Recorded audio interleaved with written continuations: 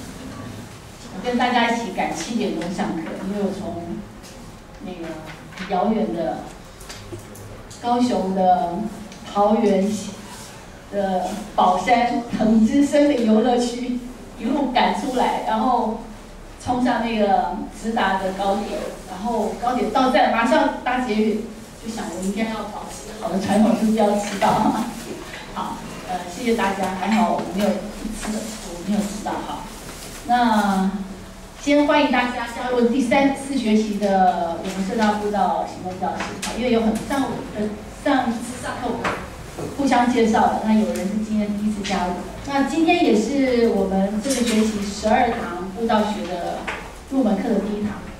那现步道的团队有三个伙伴，包括今天的新伙伴，有三个伙伴，工作伙伴在这里，四个，三个。哦，我们知道还有助教群，助教群有三个，好，所以等于我们呃还有一位是入门课也会来跟大家见面的耀兴老师，他也到了，好，多么慎重的课程哈，呃好，所以先欢迎大家，然后今天我就呃跟大家开场第一堂课，听过千里步道过去十年发展历史的，已经听过这场演讲的。应该还没有人哈，因为为什么说没有人呢？这是我去腾之前的前一个晚上又重新做的一个加了新的东西的简报，所以我把这十年呃千里步道在做的事，以及呢各位会来这边上舞蹈学，以及将来大家有可能再加入我们新的工作，我把这个背景前因后果呢都跟大家做个介绍。那未来的课程，大家可能就会更了解，哎，为什么坐在这里，而你坐在这里还可以做点什么事，啊，所以大家不用那么严肃，我就先用那个来跟大家介绍，然后呢，哎，帮我。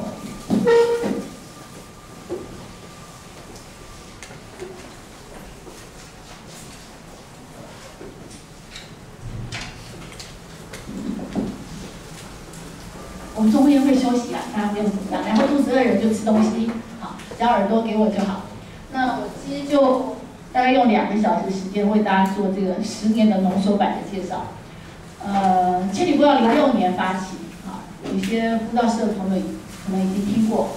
零六年的四月二十三号，那今天几月几号啊？那是一六年，今天白色情人节吗？谢谢你提醒，还来，还有还有五个小时哈。嗯，现在是一六年的三二月十四号，那我们是零六年的四月二十三号，所以大家算一下数学，差一个月多一点就是满十年了，对不对？好，十年前的这个时候呢，呃，小野实验修保护熊共同发起这个运动，呃。目的很简单，就是希望能够让更多人一起来参与一个台湾的山海美丽风光的保护运动。那讲到保护环境保护，大部分人都会肃然起敬，觉得很好的环境保护，这应该是上街头的人做的事吧。所以这三位呃我们的前辈呢，就提出了一个很简单的一个方式，所以我称为它是一个非常非常低门槛的，每一个人都可以加入的一个。呃，守护的行动做什么呢？就每一个人提供一个他自己觉得最漂亮的、他最熟悉的那条小径。呃，所以来自于苗栗啊、花莲啊、台东啊、屏东啊、苗栗好各个地方，不管你生活的，或者你出生的，或你居住的，或者你只是去过，但是你觉得它实在是很重要，推荐给大家的，你就把它提出来，然后把它串在一起。那很多人就会说，那你告诉我美丽就好嘛？那美丽的标准是什么呢？所以我们就提出了几个几个原则。第一个呢，它要尽可能的避开汽车的压迫。如果一个地方很美，可是一边走一边要打看车子会不会追过来，或者一边看美景，可是这个废气不在你从你旁边过去，这不够美，对不对？太太不浪漫。好，光是只是看一个美景，可能还不够让你很。很深刻，所以你要知道这个美美景背后的故事。所以呢，那你会有不管是人文或自然之美。那每个人都提供一小段一小段。那如果你想象现在是一个台湾地图，从北到南一小段一小段，最后就会变成这个台湾这个大番薯上好多好多小毛毛虫啊。但它就不是一个路网呀。所以这时候呢，千里步道就扮演一个串联的平台的角色。好，那我们一方面去呼吁。邀请更多的人一起来提供这样一段一段的他觉得最美的路线。那我们同时呢，也招募一批的核心职工呢，一起来走，把这些小小的线把它串在一起。那这个过程里头当然是千转百折哈，因为到底要怎么走，要怎么走，你你就会知道我花了很多时间做这件事。啊，像呃你看到的每一张照片，你都可以想象是过去我们这十年来走过的路哈。比如说让大家恢复一下记忆。啊，譬如说第一张图，刚刚有没有很快就看过去？好，所有你在这边看到的照片呢，基本上都是这十年来千里步道去串联路网，或者我们在试走过程，或者我们在做各项工作的时候拍下来的照片。说这是一个路线吗？这是一个路网的一部分吗？去走过人就知道这是哪里。阿朗伊古道，你说哦，这是古道吗？有个指示牌呀，你怎么没有画一个线？是不是要有个标示？这是一个古道，它之所以被划为自然保留区，就是因为它没有任何的人造的设施，保留了最原始的自然的海岸以及它周边的这个山脉的这个资源啊，这是阿朗伊古道。所以你现在去呢，很高兴可以告诉大家，它还是长这样。有的时候我们分享一张照片，说，哎，很美很美。不过你下去已经不是这样了，因为你现在已经变成这样，这就是一种可惜，对。那千里步道运动其实就希望保留这些台湾的土地上最美的东西可以留下来。啊，我们现在可以欣赏到，但不是看到最后一眼，而是未来的，呃，我们的以后或者我们的下一代、下下一代，在这个台湾土地上，不管来自岛内或者国外的朋友，都可以跟我们一样，看到属于台湾最美的风光。像这个。这张照片呢，好，这个是防汛道路，海边的防汛道路，是在头城啊的沿海的自自行车道。其实这样的自行车道是不是也很好？那台北双北的自行车道当当然很豪华，对不对？哦，很优嘛。像这个只是走在防风里头的。这是走在这个我们桃园的呃农村里头的啊，比农路里头，好，像这里也是很漂亮的，对不对？叙事走过吗？没有。我每次问他都是没走过。能贤呃呃，龙胜走过吗？不知道在哪里。好。这应该在花东的海滨上。海滨的道路。不知道在场馆答对就场馆，很好。呃，其实大家看到，通常我们公路旁边就一排的电线杆，对不对？电线杆在这边，怎么样？其实它离公路其实很近的。啊，这条公路是台九线，没错。那个叙事说的对，这是崇德，崇德的下台地。汉本那那个。他还不到汉本，对，他再往北一点就到崇德。应该有走过。应该有走过了，哦。嗯，他其实这个路的尽头，它很短，就到这里。你走的时候，你走的时候，你走的时候太辛苦，没有时间。他其实再过来，这边有一个海海巡的一个那个检查哨，它再出去就会到崇德的火车站。再往前一点就是你说的那个，嗯，好了，就一路往北，大家看到的这个地方，这是台湾很标准的一个。苏花公路的那个清水段，苏花很长啊，好，清水带，对，这是太平洋，好，呃，包括海边的这样的沿着海走，啊，一些鲜明，包括从基隆这边有绕海古道，其实沿着海走，阿朗伊古道沿着海走，呃，靠着山走，当然我们在串联步道路网的时候，一定会经过社区，会进入都市。所以，呃，在进入社区的时候，我们也希望透过路网的串联，让大家理解到说，哎，如果我们有更多人可以慢速的来行走，做定点深入的这个认识，其实会带动当地的社区的经济的发展。那进入城市呢，并不是住在城市人就是第二二等公民，说啊，我们住在城市，我们享有一切便利，所以我们就不能拥有大自然或者美景。我们只能有水泥丛林，不然，对不对？现在城市里头，我们还是可以营造一个生态城市。所以从早期的从这个绿色交通倡议、自行车道、人行道这样的议题，包括跟政府的呃对话跟游说等等。譬如说，嗯，好，待会就会说到哈。譬如说，我们怎么样呃跟各中央或者地方的政府单位做各种政策的游说。所以呃，在最早零六年到一零年。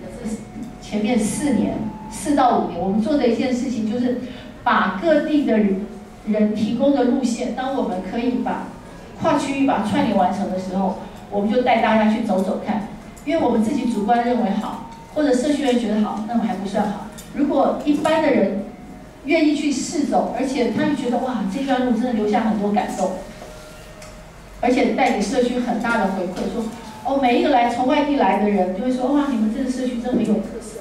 下次还要再来，或者你们这里的这个不管人文历史这些故事呢，都可以不断的被传送。好，所以当跨县市路线完成的时候，我们就邀请大家一起来试走。这个呃，你们昨天去走的汉顺上学路，有去走汉顺上学路举手？哇，去了一半啊！昨天是步道社的迎新活动，汉顺上学路是我们二零零六年发起。后的第一次南北开步走的活动之一，呃，我们定在二零一六年的六月十一号，哦，那一年的每一个月的十一号，如果是假日，我都会带很多人出去走。那六月十一号呢，我们就带着北部的朋友去走汉顺上学路，就是等于从新店捷运站出发，从小出的昨天走的路线，一直走到呃那个龟山。那当天呢，其实南部也要开步走，南部的开步走就是走阿朗伊古道，可是因为那是那一天呃天气不好，下雨了，所以就延后一周，就变成十八号。这个是南北开步走，正好北部就汉顺上学路，南部就阿朗伊古道，而这好像也就注定了我们要跟阿朗伊结下不解之缘哈，一直到现在我们都还在跟社区有很多的互动。所以每次完成跨县市的路线，我就带就邀请各地的朋友，他们就自付自己的交通食宿费用。那我们就带着他们哈，当领路人来到社区，跟社区伙伴认识。那这是我们呃北宜花呃第一次串联试走之后的第二场，叫做宜花东。好，可能在座比较少人参与的那个最前期的哈。这是我们第二次，应该是零七年的五月，我们从花莲的火车站一直出发，骑到台东，好棒啊！棒，也很辛苦哈。呃，骑应该是四四天三夜，我忘了四天三夜五天四夜哈。呃，就这样一路骑，所以有很多那种，嗯，应该说患难的志同道合的朋友，因为我们用非常辛苦的方式哈。其实也不知道辛苦，现在已经是一种流行了，就是你骑骑脚车去旅行哈。不过那个时候骑脚车还没有那么多。那让大家看看，我们在倡议的不是只是一个单车运动或者走路运动。如果只是这样的话，其实大家去参加这个捷安特的俱乐部啊，参加一个什么山友会就可以。那为什么其实步道运动也在做这个事情？它中间有什么差异呢？其实我们就倡议一个绿色的价值。所以整个步道运动其实就是一个绿色价值的倡议。呃，从你用走路骑单车，走路骑单车马上为什么它是绿色的？为什么没有污染？哦，没有废弃物。没有。对，小位置坐，对，小位置坐。后面坐，坐。呃，所以第一。走路骑单车的时候，它其实就是减废减碳的，对不对？第一，你不用耗费石油，啊，地球的能源一定是会有终用完的一天，所以你的旅行不会造成的旅行呢不会造成二氧化碳的排放。好，如果大家对气候暖化有更多的认识，就会知道，譬如说交通的废气排放也占了暖化的这个。是气体的百分之二十的排放在台湾，所以你的旅行第一呢，它不会造成废弃物、空气的碳排放。那你看看它这样子，大家可以从这里，除了交通上，从这两张照片还可以看到什么样的绿色价值？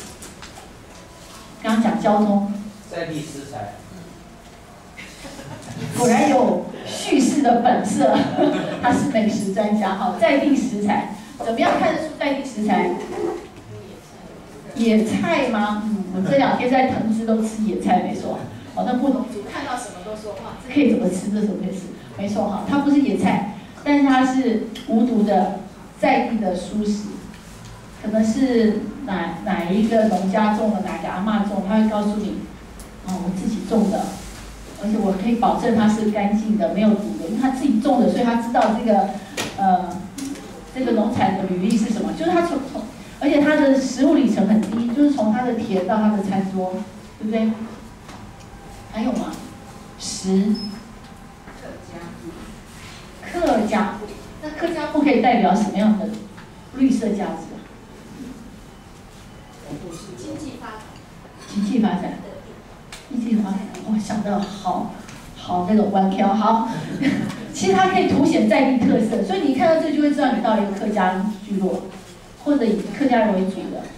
呃，其实我们说生活就是文化里，为什么我们到很多夜市去看，或者那个老街去看，都会觉得千篇一律，有没有？就它没有办法呈现出它独特的生活的这个特色，看不出它的文化。所以你看到这个客家花布，你会说哦。而且就直接讲，它就不是那个塑胶布了，差一点差很多吧。我们如果到现在常常人家要换，就一层的塑胶布，对不对？那你吃了会不会觉得很不行哎？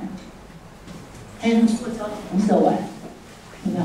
你觉得你吃完这顿，这个地方就不知道增加几公斤的垃圾，而且那还是不能不能回收的哈。所以大家可以看到。一个负责任的旅行，其实是友善环境的旅行，它是可以兼顾的。从你自己会带你自己的锅碗瓢盆，不用不用到锅，但是你的漱口杯啊，你的碗，好，呃，当然你包包里头一定会有毛巾啊、盥洗用具，所以你不会去一个地方，一个牙刷塞完晚上，第二天又丢到桶里。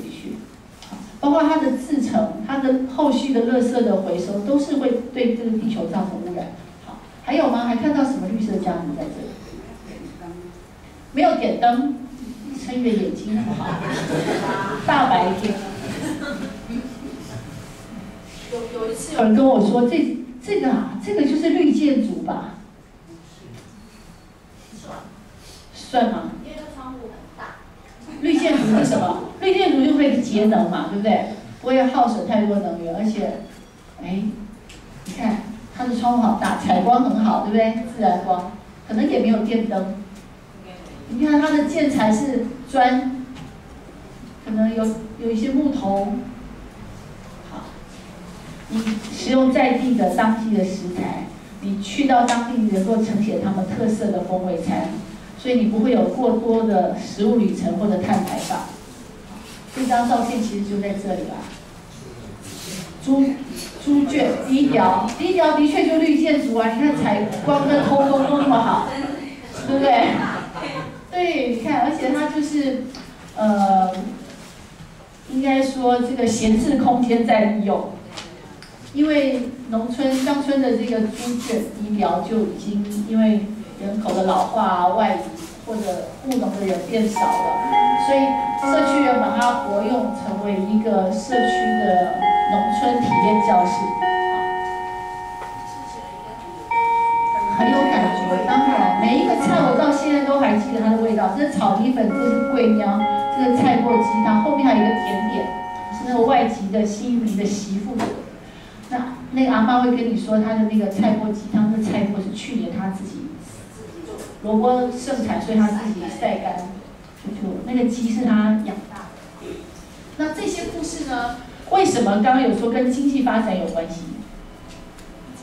大家知道几年前有那个白海豚有没有？国光石化要在大成方圆不是要盖工厂吗？盖那个石化厂。后来当然没有盖成，对不对？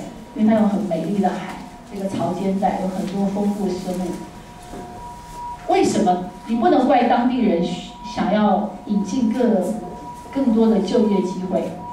他们会觉得我们的人都往外跑，我要年轻人留在乡下，所以我我想要，如果有人愿意投资来盖厂，那就可以有几百个、几千个工作机会，我们这个这个呃没落的渔村、农村就可以活起来。大家可以理解这种心情吗？当然可以。可是你再深的去想。如果一个地方，它就填海造地，然后盖起一个石化厂，然后它的对岸又是麦寮的那个那么多的烟囱啊，现在台湾的这个 PM 二点五那个有毒的气体又这么多，然后那个地方因为要生计，所以盖另外一个石化厂，然后当地的人真的，这个是一个有序的经济吗？我们可能会开始心中迟疑。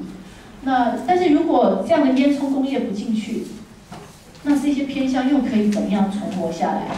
其实这是大家要要一起帮忙思考。如果我们到了假日就要到偏乡去享受这些美丽的山川风光，可是呢，我们又让他们活不下去，而说你们就是要把这个地方照顾好，那好像不太公平啊。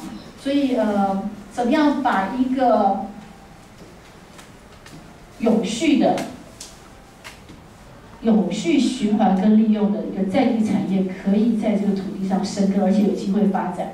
那所以千里步道运动其实一方面做环境守护、做文化传承，一个也是做在地经济的呃促进。这是我们很希望能够把这些各种的社社会的，我们能不能叫改造？我们希望能够把这社会的所有的资源条件，可以营造一个更有序的环境而而服务。所以我们呃跟。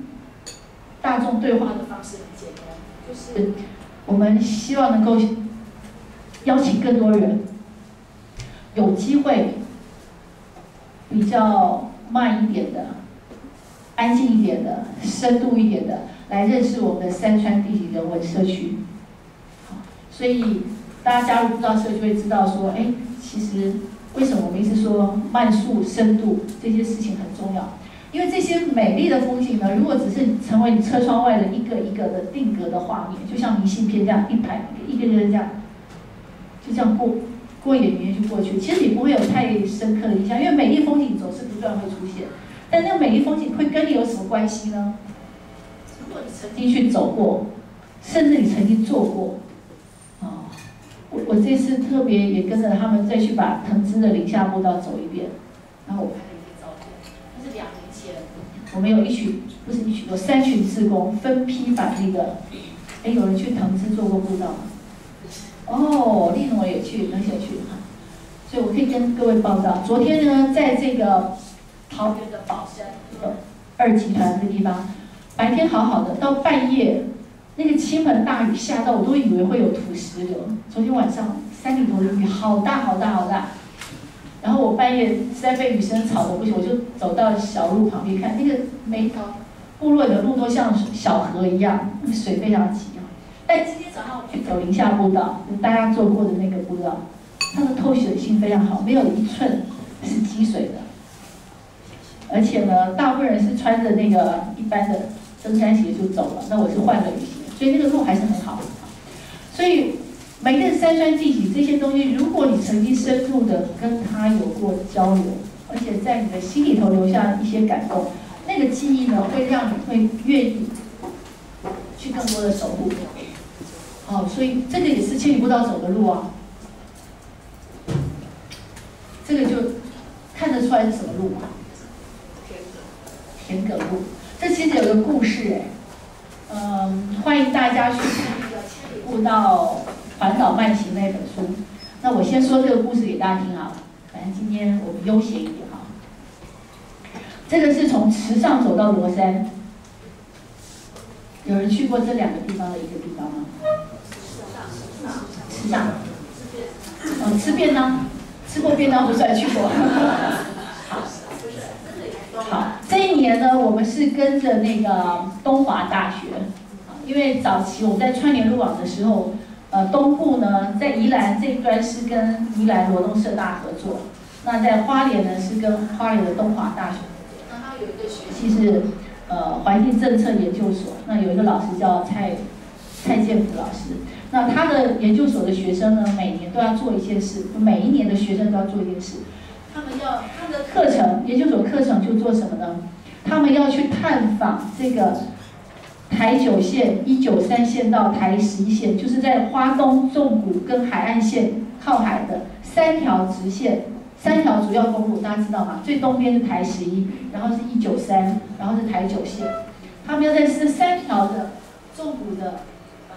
内侧、外侧，海岸山脉内侧、外侧，中央山脉的公路，去找寻部落跟聚落，找他的故事，然后找它的在地的特色美食，找在地的祈老，找在地的故事，然后把它做成一条路线。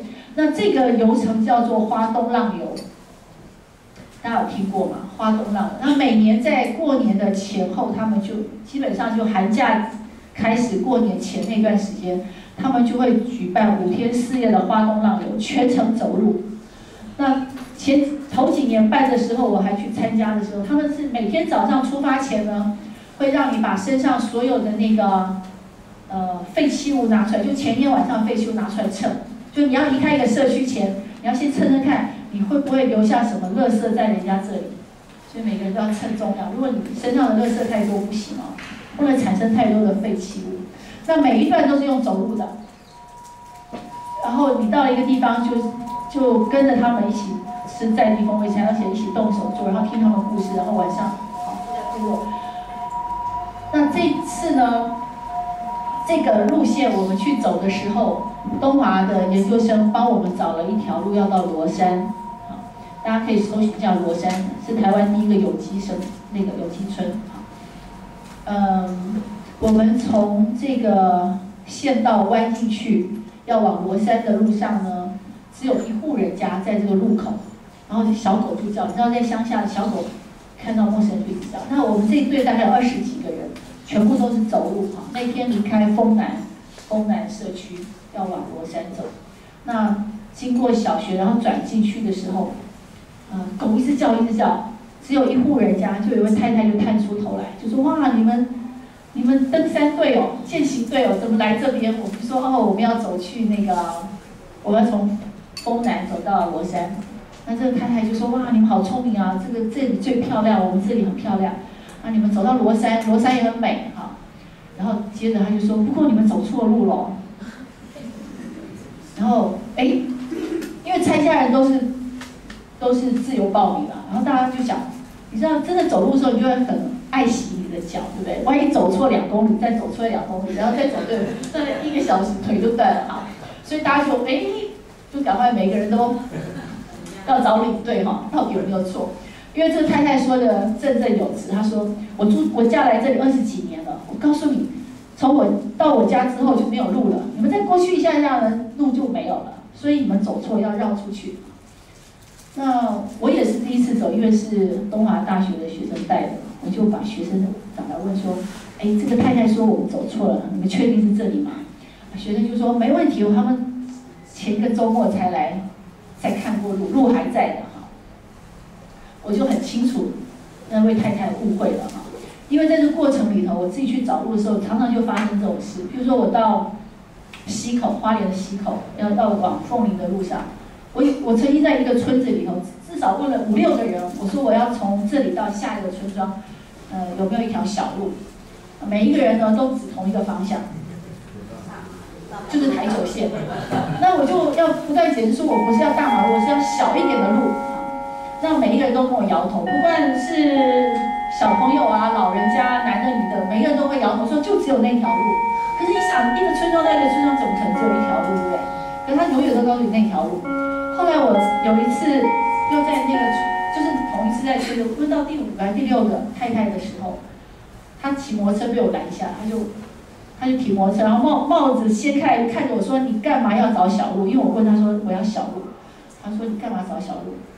我就在想要怎么介绍千里步道哈，要找一条避开汽机车啊，有美丽风光啊，然后可以把载地车子好。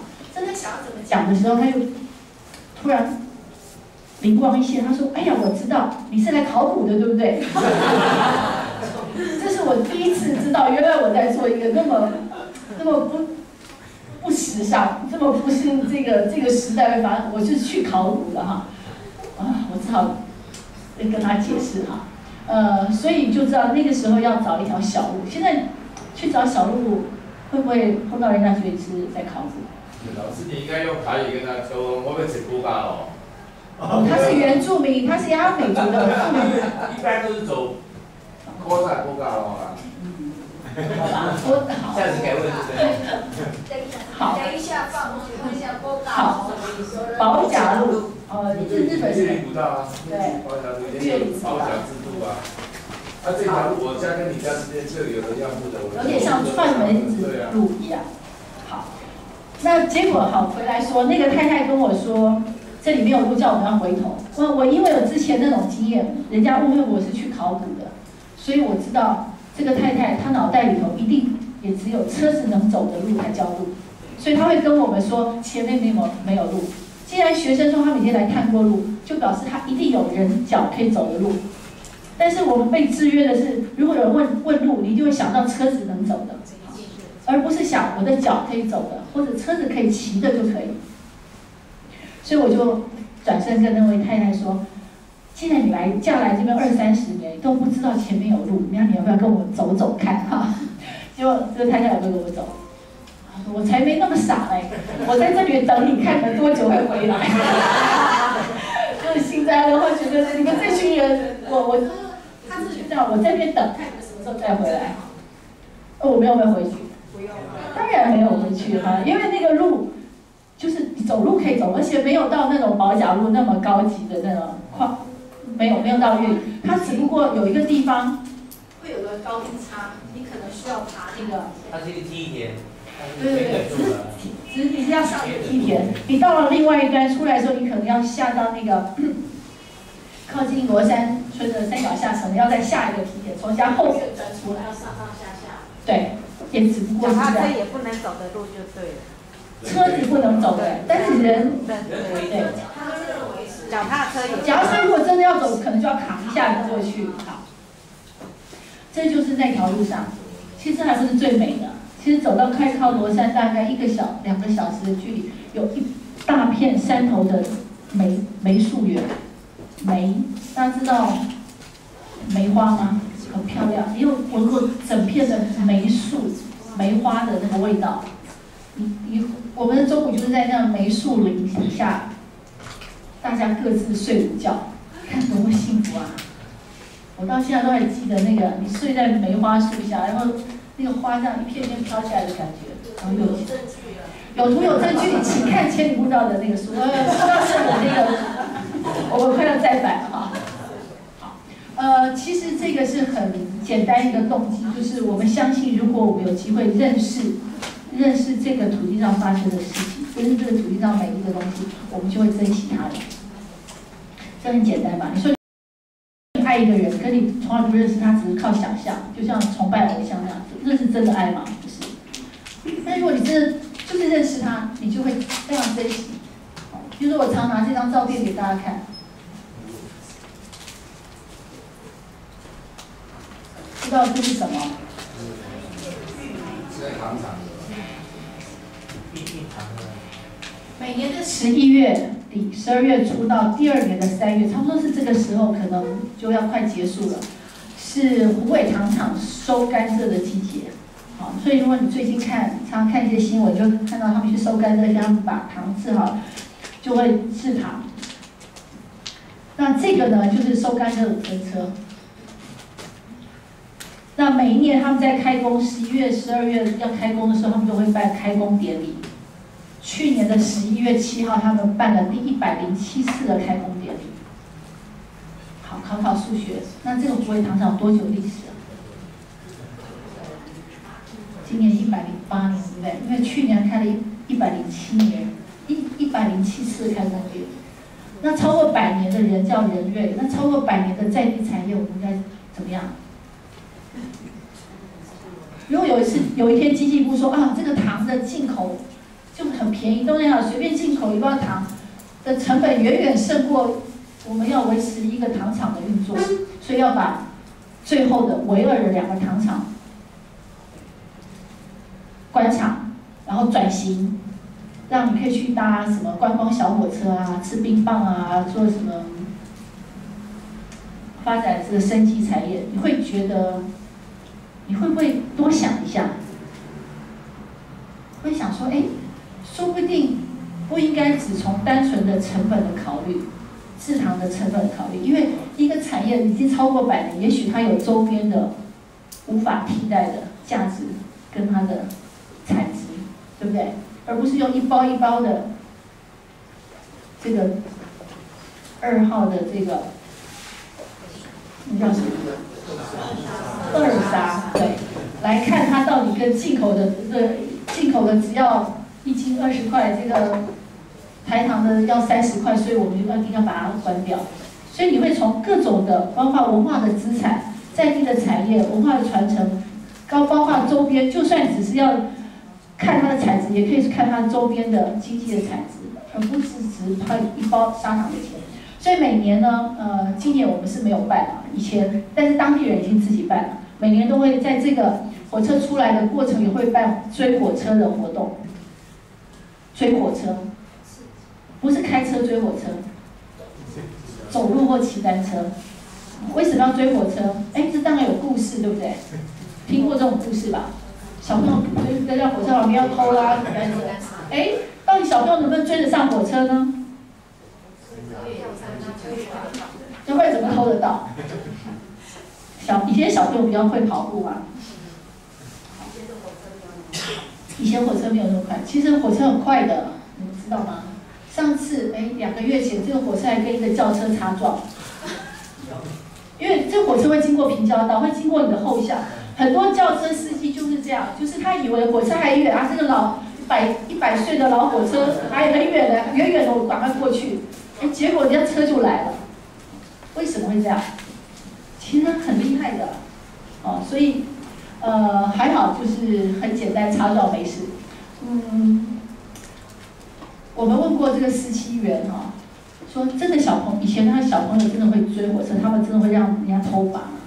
他说其实他们也会减速的，因为小朋友很多的地方会减速一下，有认识小孩在就要减速，要让他们偷把几个好，然后该走的时候他们就要走，如果他还是还是扒着不放，他们就会骂那个小孩说赶快好，好，好就回去了。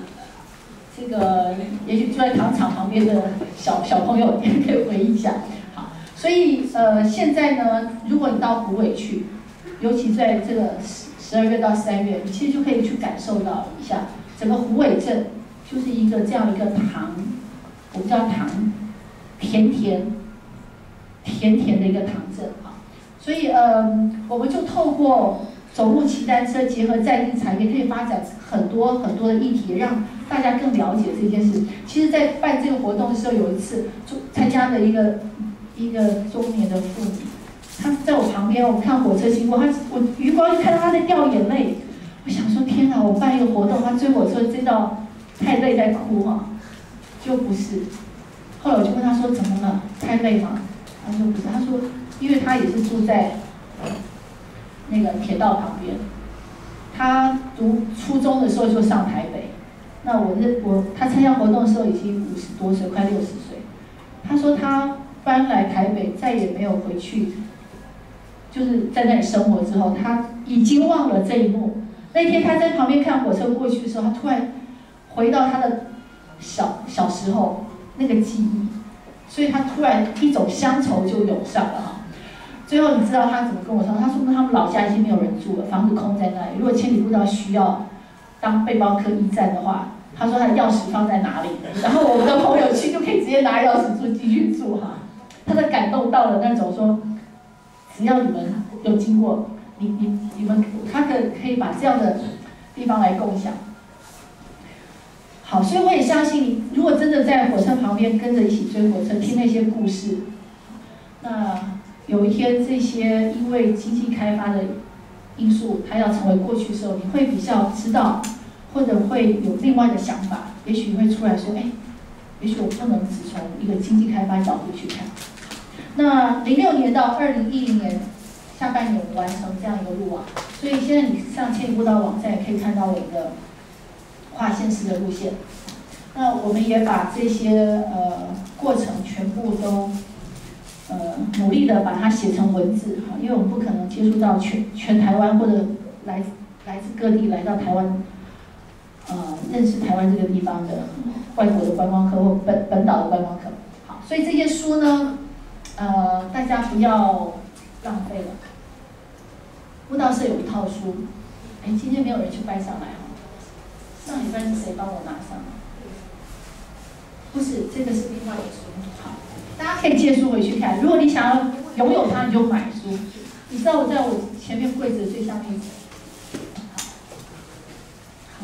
那这是我们最近的最近的两本书。这个跟大家会比较关心，介绍大台北十八条自然步道，就是它的这个人工的呃。工程的量体会低于，尽可能低于三成。有些地步道你必须走就完全人工了，那我们就不会介绍。啊，至少它可能有三层，啊是才是工程，然后有六层七层它保持固自然铺面。那这个是哎，明谦也许待会会赶回来哈，他今天去冬奥。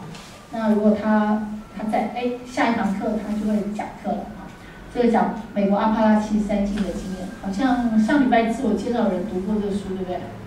读过举手，好吗？哈，我记得上礼拜有介绍。好，所以那这是今年我们出的首部地图，看看是不是有人在拿？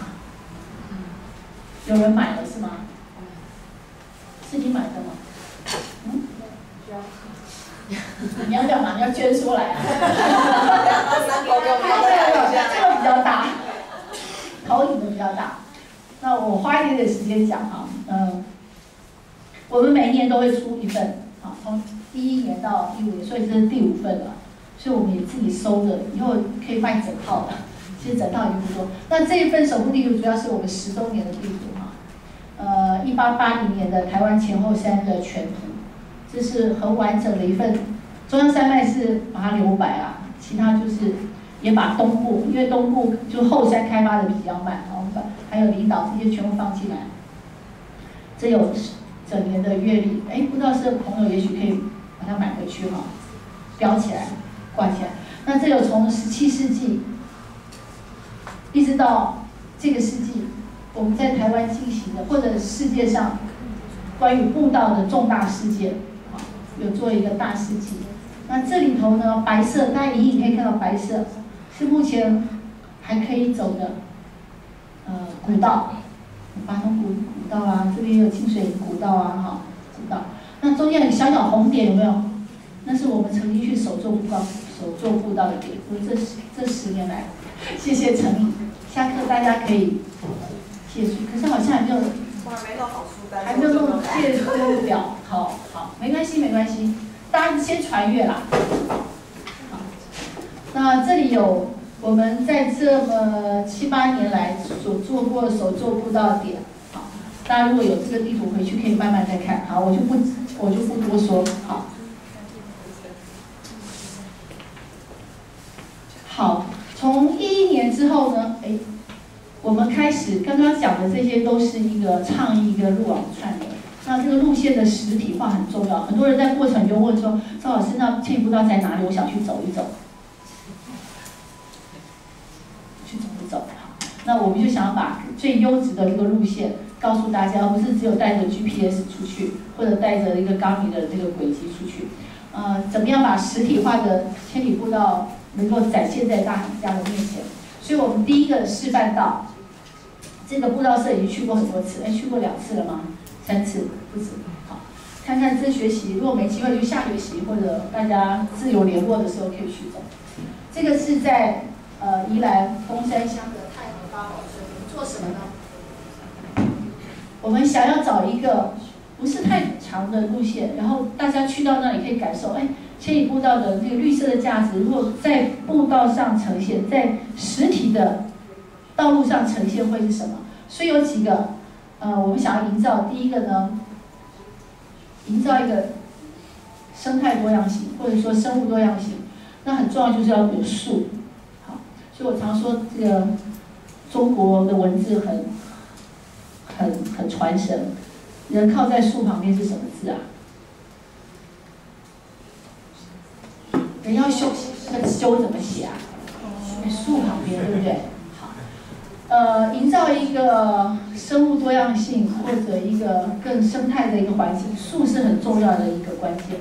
那台湾的本土的树种也非常非常多，对植物的了解，我们是不是可以在我们的环境里头就可以落实啊？所以增加这个树荫林荫，然后除了人的舒适可以休息之外，也有很多很多物种可以带来啊。所以这个学期我们也试着，譬如说在永和的仁爱公园，想要让仁爱公园更生态，啊，更生态一点。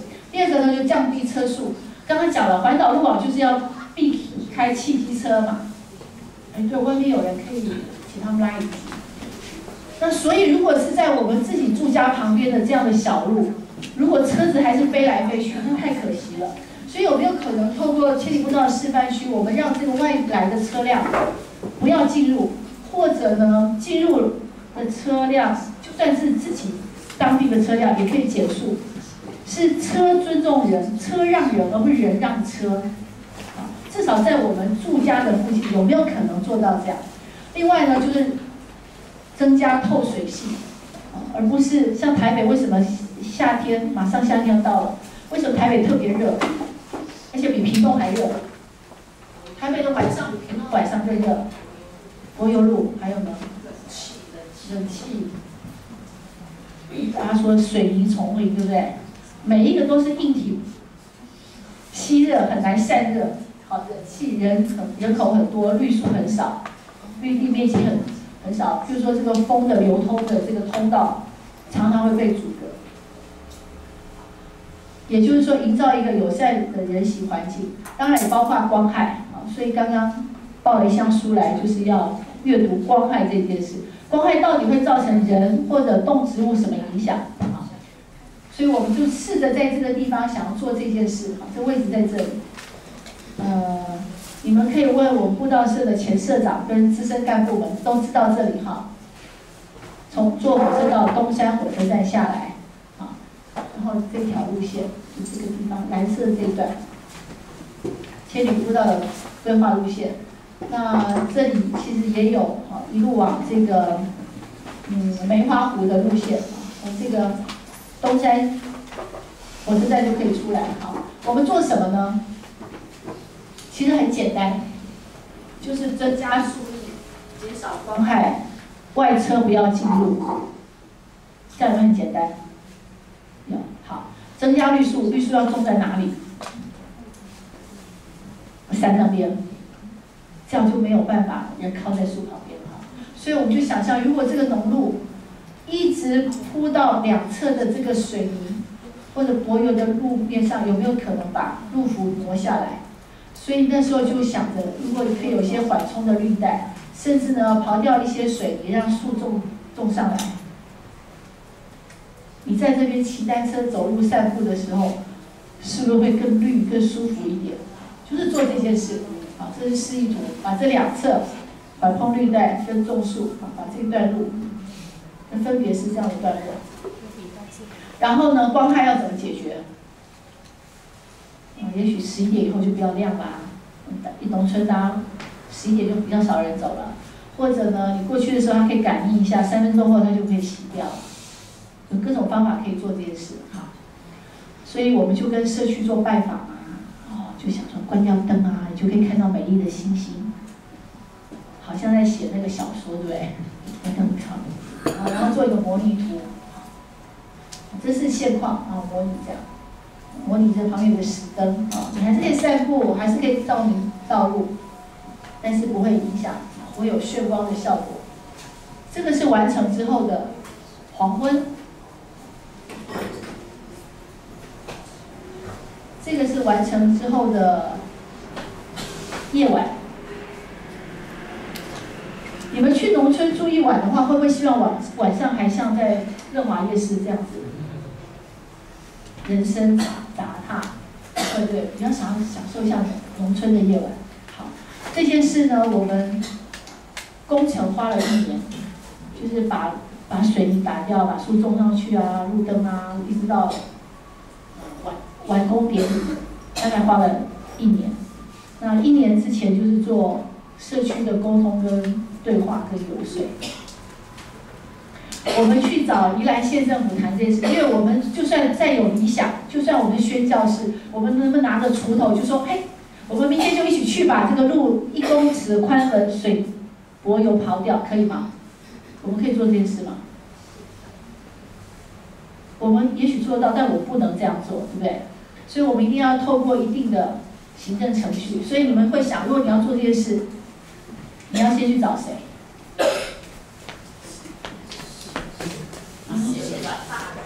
县长、宜兰县政府、东山乡公所，或者当地的里长，或者社区发展协会，或者市议员。啊你可以想到的人，你都要去拜访他，啊，甚至宜兰的立法委员，然后跟他讲说你想做这件事，看他支不支持。所有的民意代表都说哇，这件事很好啊，哦，宜兰是这个环保农业大县，只有一个条件，就是当地的人不反对，都支持就可以了，对吗？哈，这样也合理。那如果你要得到当地人支持，那你要怎么证明他们支持？先主动出来参与。哦，主动参与，嗯，还有呢？有些人跟县县长大人说，没问题了，当地人都说 OK 了，我们可以可以请你们把路变小，然后可以种树了。那我我们要拿什么去告诉县长或乡长或说没问题了？他们去动工的时候，不会有人拉白布条说：“为什么把我家的路变小了？”这个是一个曲折的过程。呃，基本上就是要有同意书了，说我同意哈，我们家怎么样？那为了要让他们愿意同意，那你要怎么办？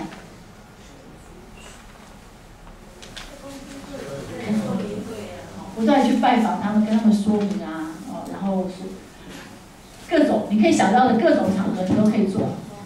去他家跟他聊天啊，喝茶，然后三不五时的就问说：“哎，你们最近怎么样啊？农农作怎么样啊？哈，谁家娶太太啊？谁家干嘛？好，或者开公听会、开说明会，呃，去县长办公室讨论，各种不断的来来做这件事。我花了一年半的时间，那里有三十三户农家，一年半，三十三户才把它。我们非常确定，如果县政府来做这件事，不会有人出来抗议，才高点。我常常在想啊，一条一点三公里的路，我们只是要把它变得更优啊。就算是我们自己主观的认为更优，我们都需要去得到三十三户农家的同意。可是呢，我们常常在一个很美丽的地方，我们要去开一条大马路，我们不用他们同意哦，甚至可以直接征收，甚至没有住户，我们也可以直接砸钱说，我就是要开，就算有人反对也不管你。大家知道台湾是有一个很奇怪的现象，那我讲这个例子就是在花莲啊，也是千里步道的一个路啊，刚刚看到那个崇德的海边有没有？它往南一走一点是到七星潭的海边，大家去过七星潭吗？七星潭呢，去年到今年，他们要做一件事，从一九三县道的零 K 到八 K 这八公里，他要用九亿，把现在的六米宽的一九三县道变成二十米宽。你们可以想象这件事吗？我们在那里要把一点三公里，只是要让树多一点，让光害少一点，让车子不要太快的开进来。我们花一年，他们要求我们。去游水，所以我们花了一年半。那一九三线到八公里，他要砸九亿去做三将近三倍的拓宽，不需要任何的同意，而且他们就已经框了经费了。这是不是？他他的这个很，我不知道怎么形容啊，但是那件事情是真的啊。你说哇，台湾真的很有钱哎，八公里路可以砸九亿去做这件事，所以这件事还在立法院在努力中。好，那去年底我们在立法院结束前做了一件事，就是暂时冻结了三分之一公路总局的预算，让他们去提出一个说明，就为什么呃如何完整这个这个行政程序，在你。进行一个道路工程前面要先完成的程序，而不是先框列一笔经费，经费下来就直接去做啊。呃，大家可能不相信，公路总局一年有三十亿，是在前年编列的时候是不用提计划，就先保障三十亿，那将来各县市政府有什么道路工程时候可以去申请的。那这个当然我们希望呃新的政府或新的国会上可以更有力的监督这件事情。好言归正传，所以你们知道，在串联步道路网的时候，你会遇到各步道运动，绝对不是一个浪漫的、有趣、好玩、健身的运动。如果你真的想保留一个美景，你会碰到很多很多你从来没有想过的事，包括我们这一系列步道学，大家很快就会上步道奇观啊，啊，会想哇，那么美的山为什么会有个很奇怪？嗯，不要说奇怪，奇观呐，哈。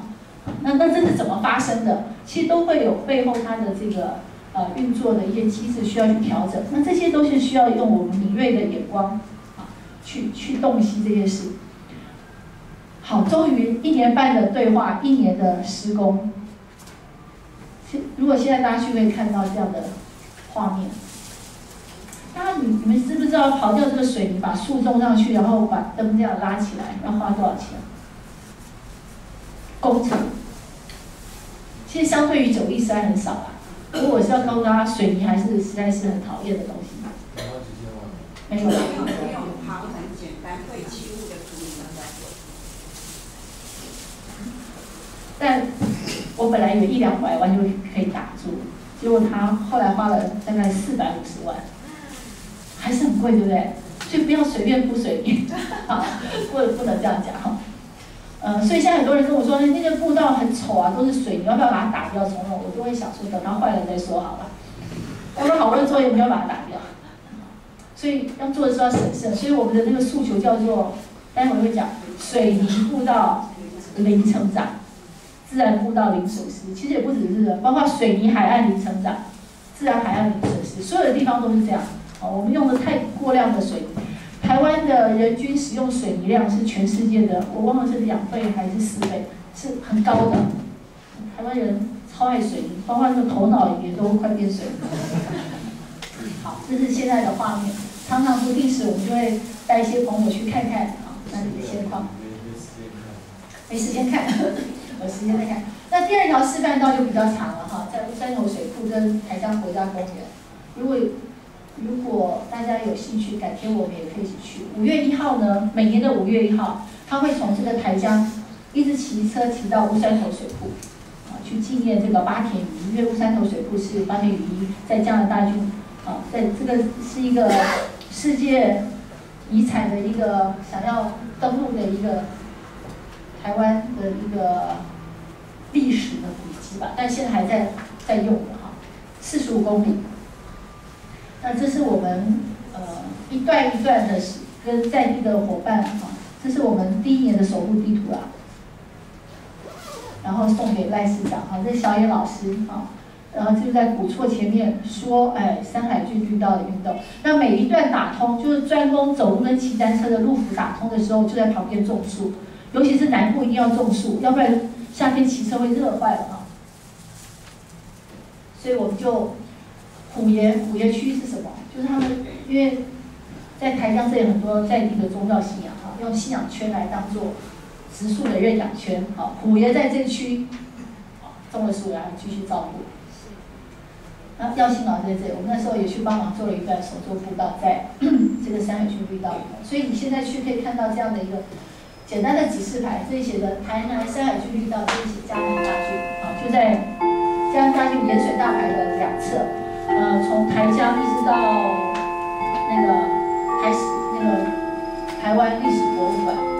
这二十公里的南北侧，好，那第二个我们做的重要的工作，除了嗯，从二零一零年一一年串联路网完成之后，我刚刚说我们要把它这个步道的实体化，逐步的这样的让更多人眼见为凭，所以一个就做示范示范区，第二个呢就实际步道一定会经过都市啊，所以在都市或农村我们就做。呃，倡议人行道、自行车道、示范道，那包括刚刚山海区绿道啊，结合这个提防啊、提案啊，哈。那在焦山的部分呢，我们就用呃，就是各位这次会用八周课来慢慢上的这个步道学，好，包括焦山步道守护。那刚开始的时候，我们并没有一套完整的步道学课程，好，是这两年开始，呃，这三年。那之前呢，我们做一日行的步道守护行动，包括从最早的呃步道调查的这个培力，就教你怎么用 GPS，怎么样用手机的软体去做铺面调查，然后去把轨迹记录。那到这个呃跟企业跟团体合作，哎，一日的自工服务，以前不是都去刷厕所吗？进山啊，进滩，那也有很多团体试着啊。用他的劳力，用他的汗水呢，来整建一段啊手作步道，呃，要避免呢更多的水泥会上山啊。这是我们在这个过程里头。后来我回顾，其实刚开始的时候真的是比较多这种跨国的啊，像 Discovery 啊，或者这种呃，刚跨国的这样的银行外商，他们比较多啊。会用比较新的啊，尝试新的方式来回馈这个土地。那当然这几年下来就更多，包括像福伦社啊，还有中小学啊、大学啊等等啊。那手作步道这件事，哎，已经做过的举手。有三分之一人做过。那这个步道学课程呢，我们在五月二十一跟五月二十八，啊，会在集美山有。呃，这个是台北市文山社大的步道学课程会去实做。那我们的同学呢，参加步学二学同学啊，步道社同学，二十一跟二十八各选一次，呃，任选一次就可以。那如果你两次都想去，那当然也很好啊。那至少选一次好步道学的课程，那我们就可以去体验一下。我们就在我们自己的郊山就可以做一段手作步道，从。不过，因为集美山这个比较都市，所以砍草除草机会已经比较少了哈。如果你到比较山里头，就会从砍草除草整地，好到我们把这个啊，这个将来步道学课程就会讲，我就不多讲。那这也是我们在二零一一年之后，呃，花了很多力气在做的工作哈。那今年都有很多啊，在不管哎，是这礼拜吗？在在东岳，是不是有一场工作假期？还有名额吗？因为不晓得有没有好。如果有人想去体验，我们这个周五六日在南澳乡的东岳部落，啊，有有个工作假期，不过要三天两夜，哈，大家回去可以看新知道的演出。所以我们从二零一二年开始就提出了一个这样的概念啊。这一年我们跟呃十几个 NGO 的环境团体，环境 NGO 团体共同提出了一个反思，就是要做国土保育，可是我们的国土却是水泥国土啊，所以大家就提出了一个呃水泥零成长。像吴胜老师也希望在今年也可以开始推这个破除水泥啊，不管是有形无形。那他要做的破除水泥，可能会从公园跟校园做起。就说公园跟校园应该是最生态的，更多土土壤而不是水啊。可是看我们校园不是 PU 跑道啊，就是铺上水泥的或者石板的这个停车场啊，或什么，可能会从校园或者公园里头来着手。这就是我们从一二年的水泥步道零成长，到我们开始呃发起双北的步道铺面调查。大家知道双北的双北就是台北市跟新北市，他们造侧列管就公部门造侧列管两百七十四条步道。那我们大概花两年时间起这个步道调查职工。每一条每一条都去走过，然后把它记录起来，好，然后把它呃登录上去，所以才会刚刚得出那个介绍大家十八条那个工程比例在三十以下的自然步道，就是从那个调查开始。好，那我们就看已经八点十五，我们就看一段影片，然后我们就休息，就把步道日讲完。所以接下来我们就开始倡议台湾步道日，就在六月的第一个礼拜。六日，好，所以今年是第三年第三届布道日，也就是我们的社团第二个户外课程，要去的就是淡蓝的会师，就在今年。这布道日的，哎，我们为了布道日还拍了一个影片，哎，好像就是也许看过，哎，这里没有没有网络。好，等一下如果没有网络对不对？好，大家回去看好了。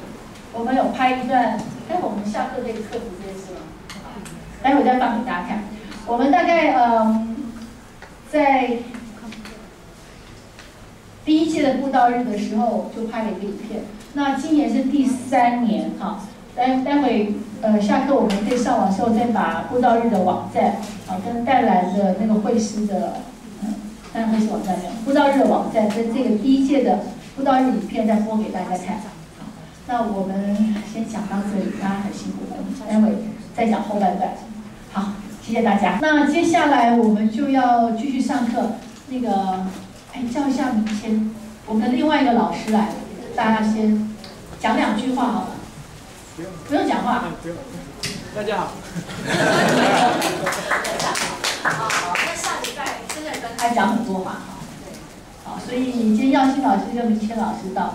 那今天有三位助教，大家刚刚有看到呢。我们请那个大师姐啊，助教大大师姐，好，大家跟大家呃互相讲话一下。她是学姐啦，勉励大家一下。勉励啊。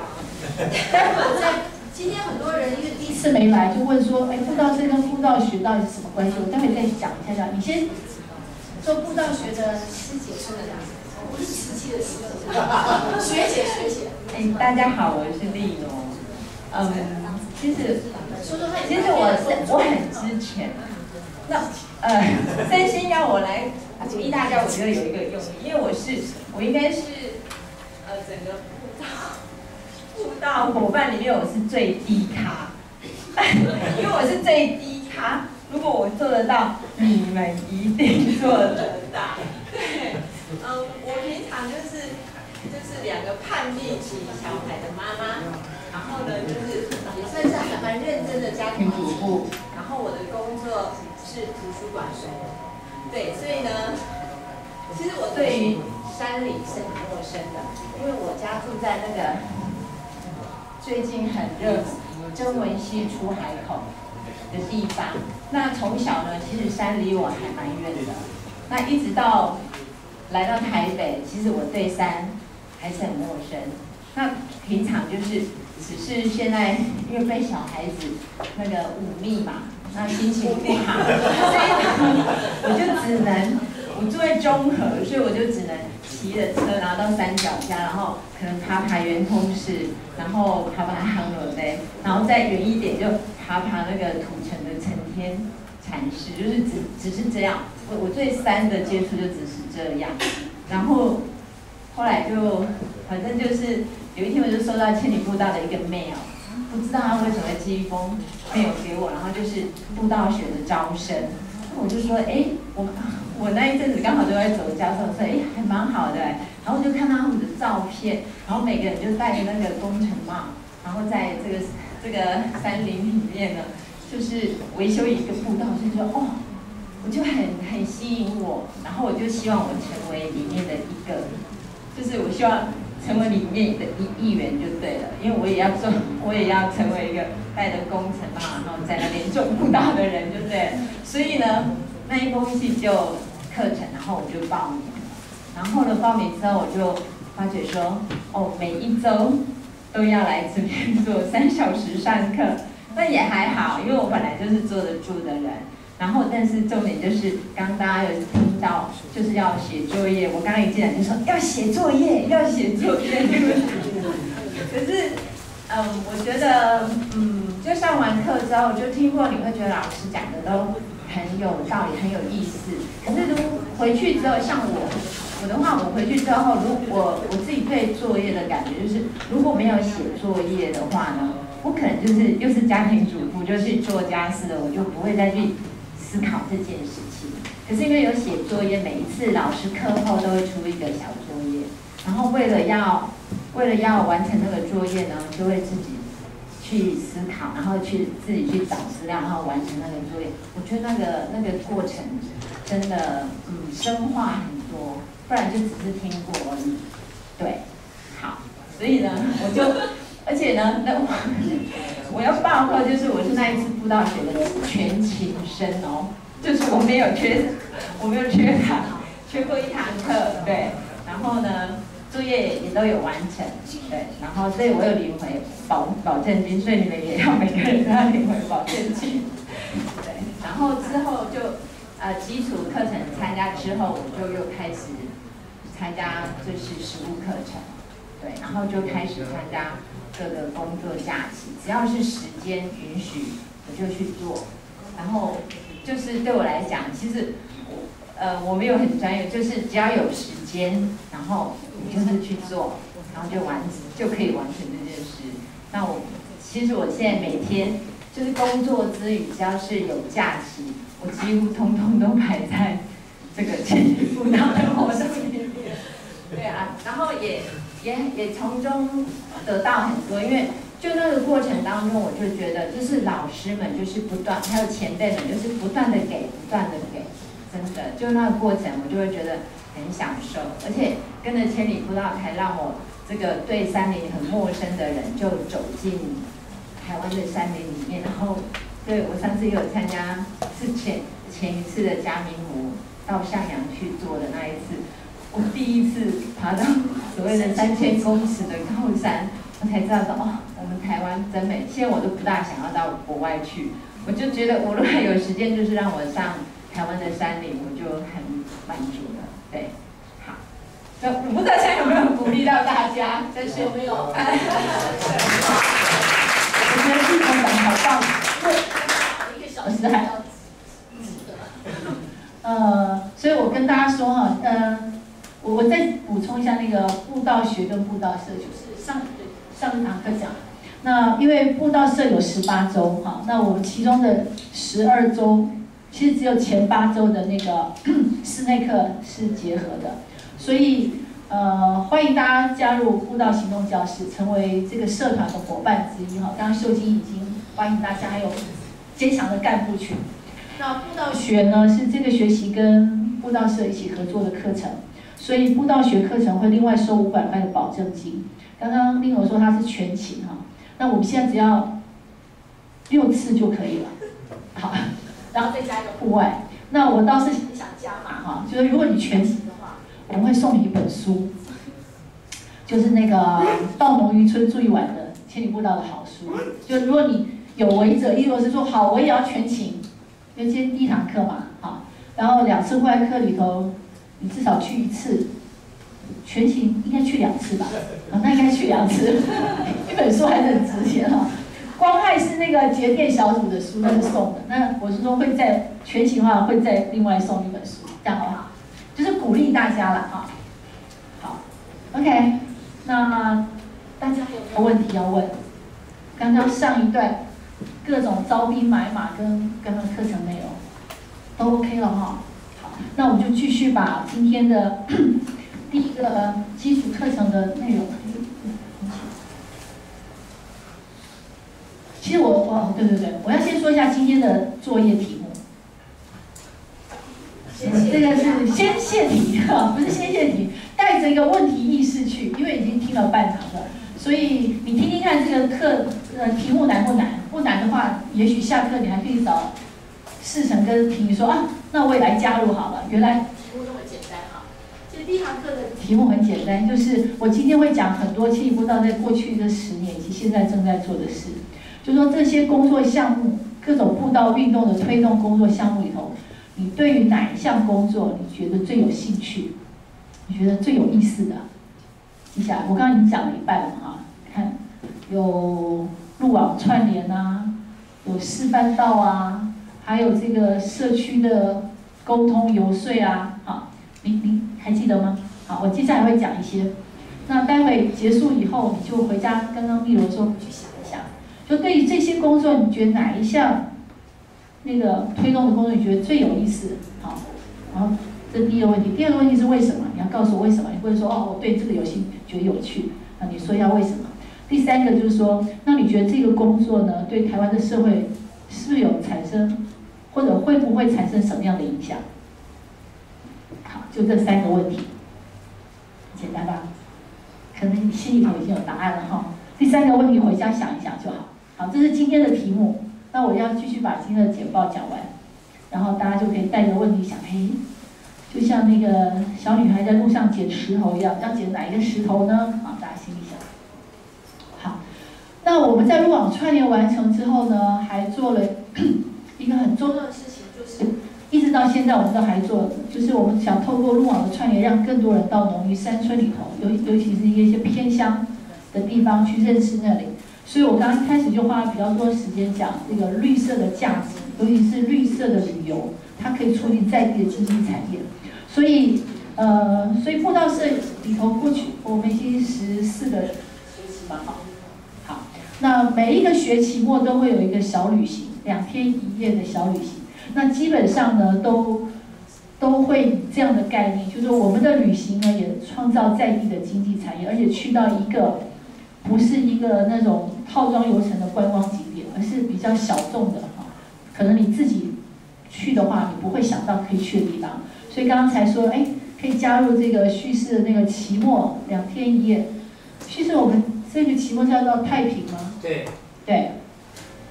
我会讲一下，好，我大力推荐的地方哈。太平在哪里哈？那其实我们持续推动这个到农渔村住一晚，或者到偏乡去住一晚。好，譬如说，呃，我们到农渔村住一晚里头，书里头介绍猴洞，好，我们是不知道是之前也去过那个地方，但是绝对不是只是去看猴洞的猫村，啊，猴洞的猫村谁都自己会去哈，但是去猴洞看猫之外的游程呢，啊，其实有很多很好玩的哈，所以包括我们，好，这是一个煤矿的博物园区，去过的举手，都去。哎，没有全部去过，好，所以呃，如果大家借了《到农渔村住一晚》那本书，也可以看看他那那里就介绍你怎么样认识一个偏乡哈。譬如说这里有我们的基隆河的上游，这是以前的玉梅桥的这个现在的这景观桥，哦，那里很重要的一条材料路，哎，这样子看，大家有去坐火车经过吧？你知道往宜兰都会经过的。从瑞芳下一站猴头，然后再下来呢，三焦里，然后呢，就分向了，对不对？牡丹、双溪，好，就一路下去。所以呢，我们要去的太平，期末去的旅行的太平，也是一个就在双溪的西南角的一个地方。所以，呃，你去到一个地方，如果你可以深入在地的话，比如说。活动也是一个很重要的淡蓝古道系统路网里头的一个节点啊。比如说这有金丝碑古道啊、大出坑、小出坑古道、后凹古道，很多古道在这里。光是走来参加古道是人，一定最喜欢走古道，对不对？好，你到活动你就一定要去古古道走走。如果你只是在火车站旁边吃碗面啊、看只猫啊，然后就就太可惜了哈。这个是我们在步道上，然后你当然要去看看当地的文史，因为它是个煤，它是瑞山煤矿的这个厂址所在，它曾经有过哪些故事？你从火车站走到对街，可能五十公尺而已，就可以看到模那个愿景馆，就会介绍那里的历史。所以去到那里一定要慢速走读。所以我们也透过这几年一边串联路网，就一边跟社区结合。所以像如果你去到那里，我们的社区的据点是什么呢？在旧的活动国小，应该是活动国小的旧校区，那里有这个呃农民组合的协会，农民组合协会是一个倡议小农的协会，它的发起人是杨汝门，大家听过这个名字吧？有很多市集，呃小农市集，那他们就在活动也有一个据点，啊，把一个废校，呃做有机的耕作，然后做手做的这个工作坊。所以，如果我们去到那里，我们就会去到那边，啊，跟呃也帮在地做耕耘的年轻人加油打气，啊，所以你去到活动不会只是再说一次，不会只是跟着猫跑来跑去，你会去认识那边的过去、现在，也知道未来他们正在做什么努力。好，这是刚刚讲的，这里有很绵密的这个火车，哦，这个是往平西，这是往宜兰，对。双溪牡丹，有人统计过，这里头你在那边待不到十分钟，大概八分多钟就会看到一班火车，就会经过南上或北下，载客的、载货的、载煤的、载什么，所以你要看台铁的各种列车在这里都可以看到，很有趣嘛。所以很多铁道迷会在这里守候。那去这个太平呢，我也先用几张照片给大家诱拐大家一下哦，这是我们期末的旅行啊。呃，这个是渡船头，对吗？渡船头那里的一个洋楼式的这个老的建筑，很漂亮，对不对？你可以看出他们以前盖的时候是多么富有吧？以前在太平是有，呃，在双溪，他们就有电影院呐，有放的这个市集，哈。那我们要去的太平湖这里头更里头，它是从双溪再往。西南角往湾潭古道的这个方向，沿途有很多漂亮土地公庙，它也是北势溪的最上游、最上游的源头。它是一个自然保护区，嗯，北势溪的集水区保护区最上游的这个地方。事实上，整个双溪的行政区，在比较靠东的，它的水就是平溪、双溪这个河是往，呃，太平洋流。那这边的水是往台湾海峡，就往台北市双北这边流，所以它是两个水系在这里做做分流。啊，这个大家看，知道这是什么吗？宝龟。对，一看就知道竹子做，这有竹节，对不对？竹子，竹子竹子那个，因为很多人就要去宝龟，去摸的很光亮，对不对？是在当地的一个宗教信仰的寿山宫的一个，对，你可以去摸摸看它，它非常的轻巧，但很有特色，不是一般的那种漆红色的那个木头而已，啊，这竹子做，看漂亮的水。这个在期末的时候，徐师会带大家去哈。好，这个是我们做的另外一个生态旅游，呃，正在发生，而且有很多很多点。包括说，我这过去这两天去的这，为什么要去藤枝呢？其实重点不是要去藤枝森林游乐区，呃，而是进森林游乐区前呢，有一个叫做二集团，就是桃园桃高雄市桃园区宝山，大家知道入宝山，或者空手而归那个宝山哈。那因为藤枝森林游乐区已经封园很久，因为它整个那个。那个山坡啊，就是滑落，而且不断的崩塌，所以其实连外道路已经中断了。那千里步道跟屏东民管处在两年前就合作，呃，不走车道，因为车道进去不断的滑落，所以我们绕到后面，哦，山的林线后面去做一条手作步道进园区，哈。那他们就在想，有没有可能透过这个林下步道这个一点五米的连接，可以把二集团就宝山这里的社区的发展跟藤枝的开源，而且它开源可能是限量的，比如说一百个人、两百人做一些结合，可以把社区的经济、小民经济带起来，哈，主要是讨论这个事情。好，这个都是偏乡或者说农渔山村原乡客家的这些。啊，小旅行啊，或呃来带动社区发展的一个工作。那另外我们在都市，都市的台北，去年呢我们做了一个呃都市生态绿网的呃一个串联计划。刚刚讲是全台湾的一个路网，其实，在大台北，在一个台北盆地，我们其实也可以做这样的路网串联。大家可以想象缩小版的环岛路网，那我们现在缩小在台北盆地，台北盆地路网怎么串联？刚刚说了，一定要保障走路跟骑单车喽。所以大家可以看到，其实台北市是一个得天独厚的一个首都，它有非常非常多绿地，因为我们是一个盆地地，旁边都是礁山。你随便这样转一圈，哦，如果不是被高楼盖住，你就会看到那个绿色的天际线哈。所以启强大哥在带这个台北天际线的走路，哇，那个真的很精彩。我去走过两次，我都觉得很棒，走天际线，好。不仅有这个焦山有绿地，还有河流，还有哪些河流？因为我们最近是什么？新燕溪。新燕溪的上游呢？还有呢？哦，好。然后集美溪也会汇进来，对不对？好，那新燕溪再往下会跟哪个溪汇流呢？好。这里就就有看到，对不对？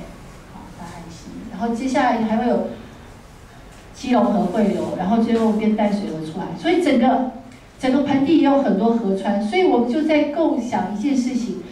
当然，我们可以到礁山里头去享受，就像刚刚丽农说，他去这个陈年禅寺啊、杭楼的呀，好，我们往礁山走。但我们自己居住的地方，我们随时随地出门就会遇到的地方，我们可以做什么呢？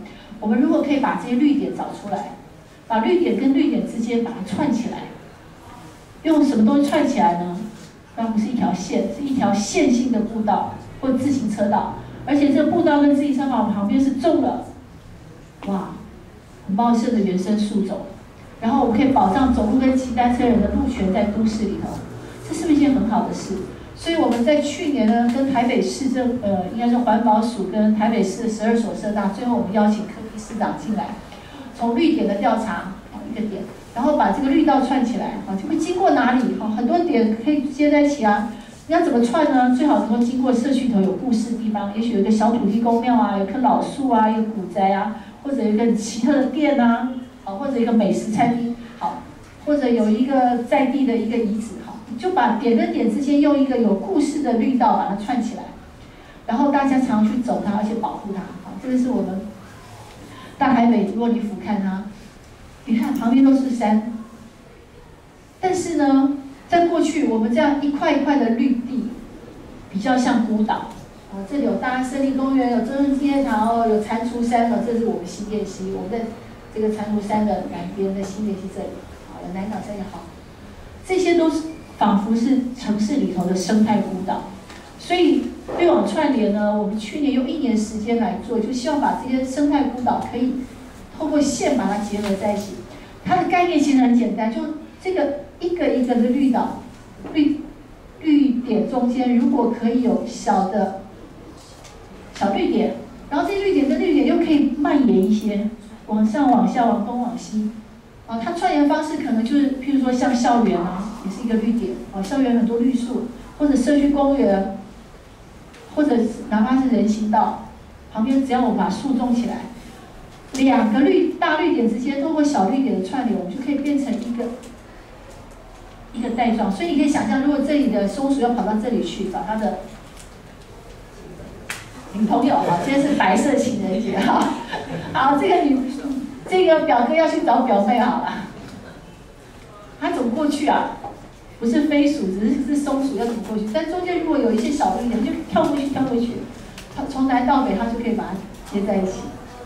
这个这样的一个构想，其实不是只有我们在台北市的推行，在荷兰，他从一九九零年代就开始做这个事，他们花三十年的时间，用国家的尺度，哦，透过包括高速公路啊、连外道，它路旁的这个绿缓冲带、绿篱都把它建制起来。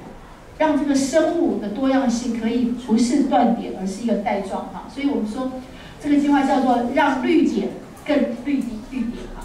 所以去年我们做九二的时候有个成果发表会，在台北市政府，我们就把这样的一个地图哈，我们在这不是一个平面，所以大家可以上网去搜寻，我们就有一个动态的一个共比系统，叫我们是跟这个 OpenStreetMap 就开放街区的地图的共比。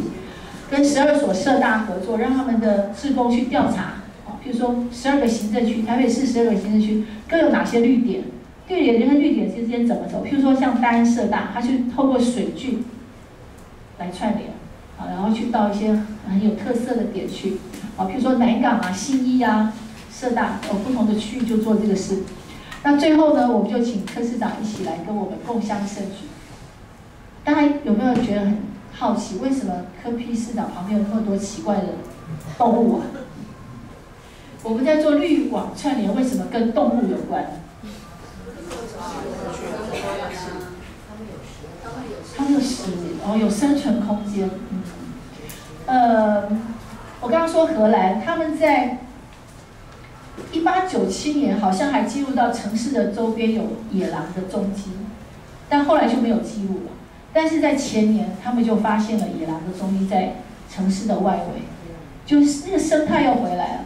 所以你知道，在嗯，我想一下，在台北的木栅、新店、乌来这一带有石虎的记录。我如果没有记错，好像是一九八六年前，是不是那个数字？好像一九八六年之前，在台北的礁山都还发现石虎，这就是石虎的人偶。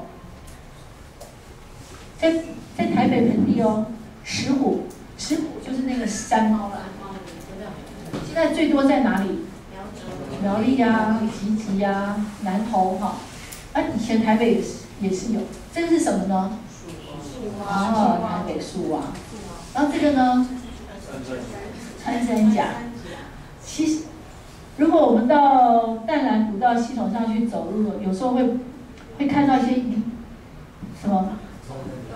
穿的洞，对不对？像这几天在那个藤枝，哇，到有整片都被那个山猪捣毁的那个铁，那个吃剩下那个竹笋皮还在散落在一地啊。其实，在这个土地上，并不是只有人类在这里生存，其实有很多动植物跟我们共共同享有这里，营造一个生物多样性的环境。我们对土地越越友善，我们的我们的环境就会越永续。好，所以为什么有很多什所谓生物指标？好，哪一种？哪一种物种，它如果你看得到它，表示这个水干净；哪一种物种如果你消失了，哦，比如说蜜蜂如果消失了，那你就知道人类的文明可能也要慢慢走走向一个毁灭的方向。所以呃，我们在去年就把初步的成果，那也跟希望跟台北市有更多合作，因为以台北首战之都，如果如果我们在城市里头就可以做这件事。所以呃，像今年最近我们又跟，因为台中也有一群朋友也希望做这个事，因为台中已经变成一个大台中的直辖市。那台中其实已经过度开发了哈，二三十年前它是一个很很棒的地方，那现在空污也很严重。那怎么样把台中的这个生态绿网也建设起来？当地有一些朋友已经开始在想啊，所以这会逐渐逐渐的跟许多伙伴们一起来。努力。那为了这个东西呢，我们也拍了一个短片，不过也看不到，大家上千步到网站看好了。有一个预约，呃，二零五零年可以更更更绿的一个环境。如果我们现在没有办法开始做的话，二零五零我们就会面对一个另外一个生态浩劫的一个预言式的影片哈，大家可以自己回家看。所以，刚刚我说的这个 OpenStreetMap 的这个开放街区的地图呢，我们就透过跟社呃台北市的社大合作，然后在这个地图上来呈现。呃，这是做截图，不过大家不能连线，所以大家回去再慢慢看哈。就先把绿点做出来，然后把点跟点也放进来。那包括我们还把呃科批去年一直在做的什么市民农园的点啊，学校绿地等等都放进来，然后最后呢就把它串联成一个呃初步的一个绿网。但是后续要怎么做，还需要更多人一起来来协力。包括永和社大在这四年一直在推生态双河愿景，大家知道吗？永和社大在做这个事，就想在台永和永和几乎是不可能，可是还是有一群永和社大很傻的人哈。在台在永和要做什么？要把宁静巷道街区做出来，就是在永和能也可以有人行道，保障走路跟骑单车的路。大家觉得有可能吗？怎么可能，对不对？好，我们已经努力了三年啊，这个应该比东山更遥远哈。台北呃新北市政府的交通局就说了，只要沿途的居民不反对，我就来画人行道。然后就说，那有个是让你去挨家挨户去问卷，然后得到他们同意，我们就来画人行道。我们也试着做过，我们有一次办说明会，哇，在场人都同意。就第二场办说明会的时候，反对人听到风声，所以第二场反对人全部都出现了。所以第一场是全部在，第二场就全部反对。呃，这个路还很长了哈。所以我包括说那个德和路二四三巷。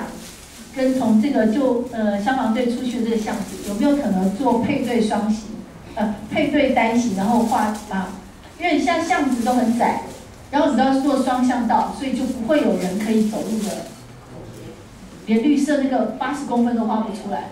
但如果可以做配对单行，也许就可以或者限制部分可以不要停汽机车，也许就会有机会。但是马上考验就周边的住户愿不愿意。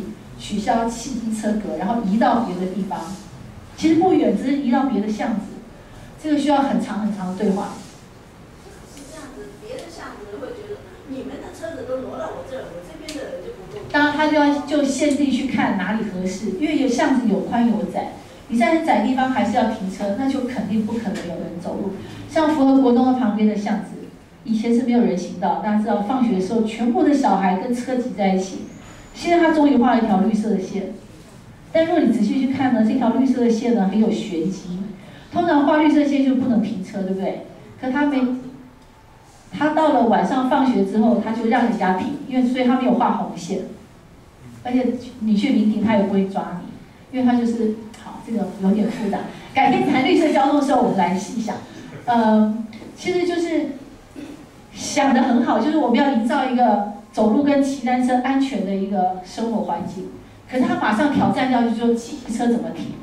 那柯市长最近在谈要取要收费，要取消机车格，包括说复兴南呃现在做很多人行道，呃自行车道，不是前一阵子三横三直不是被骂的臭头吗？大家知道吗？哎，那到底要不要自行车道呢？不要自行车道，那单车都骑在路上，跟汽机车混在一起，要不然就是骑在人行道。威胁行人，那这到底怎么样取得一个道路的一个呃共同和谐的一个互动关系？好，这个是专门一个绿色交通的课程了哈，有机会我们再谈。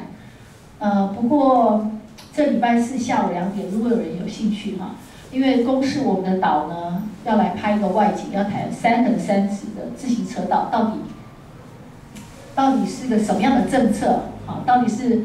呃，是要营造一个伟大的城市呢，还是造成人民的不方便？所以我们会去骑复兴南北路的自行车道。如果有人有兴趣的话，可以一起来骑骑看。礼拜四下午两点，在复兴南路跟中呃和平东路口，我会在那里。我自己要带着夹骑着夹车来哈。对，那里坐那里车很多。以前复兴南北路几乎是不可能骑假车，你就是要骑在车。但现在已经有大概有八成的自行车道，就自行车道有八成已经完成了，所以我们要去试骑看看。好，这个是呃非广告了。那最后一个我跟大家谈的是下一个十年哈，淡南百年三金的串联。那布道社也共襄盛举了，就是我们今年要。第一个会师活动会参加，哈，那太平也是在这个大南百年三季串联里头的一个社区的培力的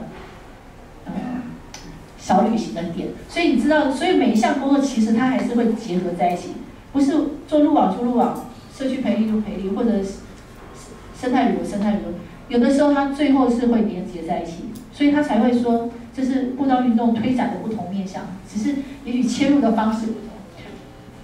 百年三进这件事呢，呃，是我们启动下一个十年里头最应该说重要的工作项目之一。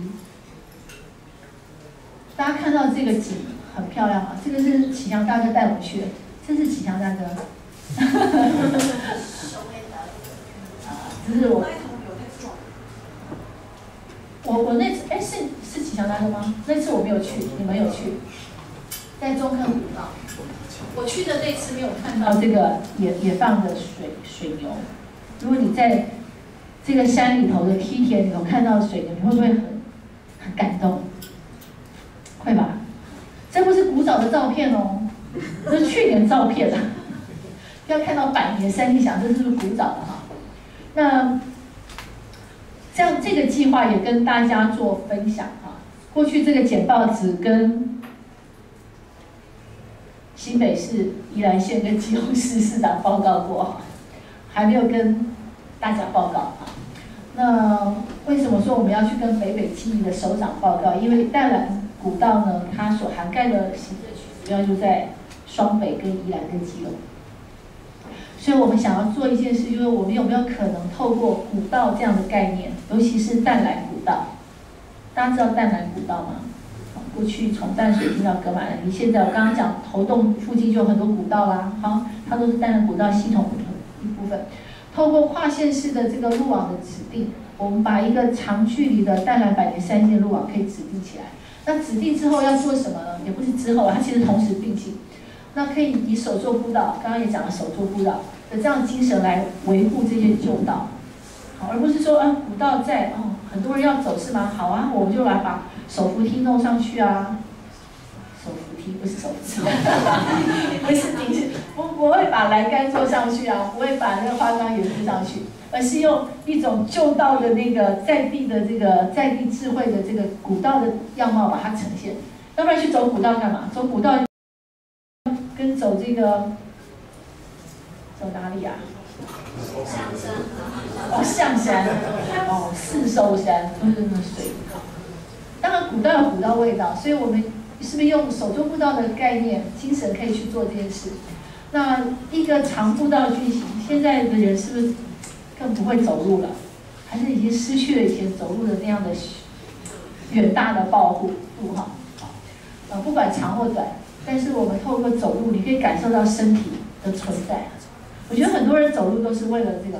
你在走路过程里头，感觉到你身体存在，感觉到你的灵魂的存在，感觉到你的，甚至是你未来的存在。哎，刚刚有一本书叫《走路》，有没有？那本书很棒。那个。不能，嗯，爱心这边一本才卖九十九块，我会建议，如果你不是太穷的话，你可以买一本回去。为什么呢？因为那是回头书哈，它因为已经快绝版了，所以我们只卖九十九块。为什么推荐大家买呢？因为它是有十一个作者，分别谈他生命里头走路跟他的关系。譬如说，有人走路来自我疗愈。譬如说他有忧郁症，他自我疗愈，他通过走路来疗愈他自己。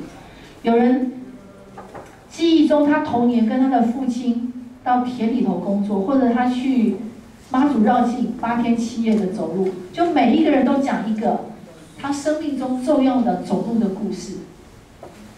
我觉得那个真的是，那是千里步道第一本书，也是最文学的书啊。那种书我觉得不应该跟人共享，应该是放你床头，没事就翻两页来看。因为它很文学，很散文，所以才九十九块。哎，我看一下谁下去拿好了，待会一定批你，要不要先去办公室拿一个？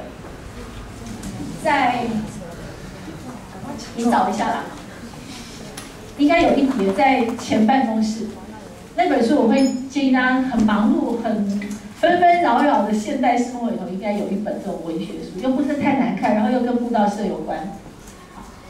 然后会有步道分级制度啊，你这个这个未来的步道学就会讲这件事啊。步道怎么分级，守州步道的精神是什么？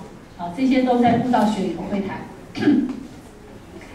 那淡蓝山地里头呢，有很多的文化资产，就是包括呃，我们这个步道学，因为是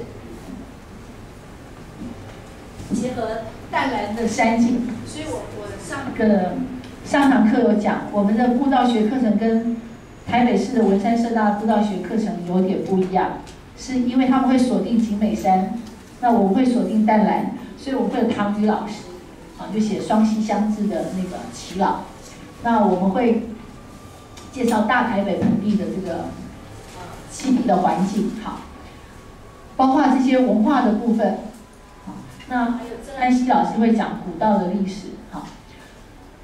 那我你们我们期末的时候，你们就可以亲眼去目睹这些哈，包括这个太平的宗教信仰中心寿山宫。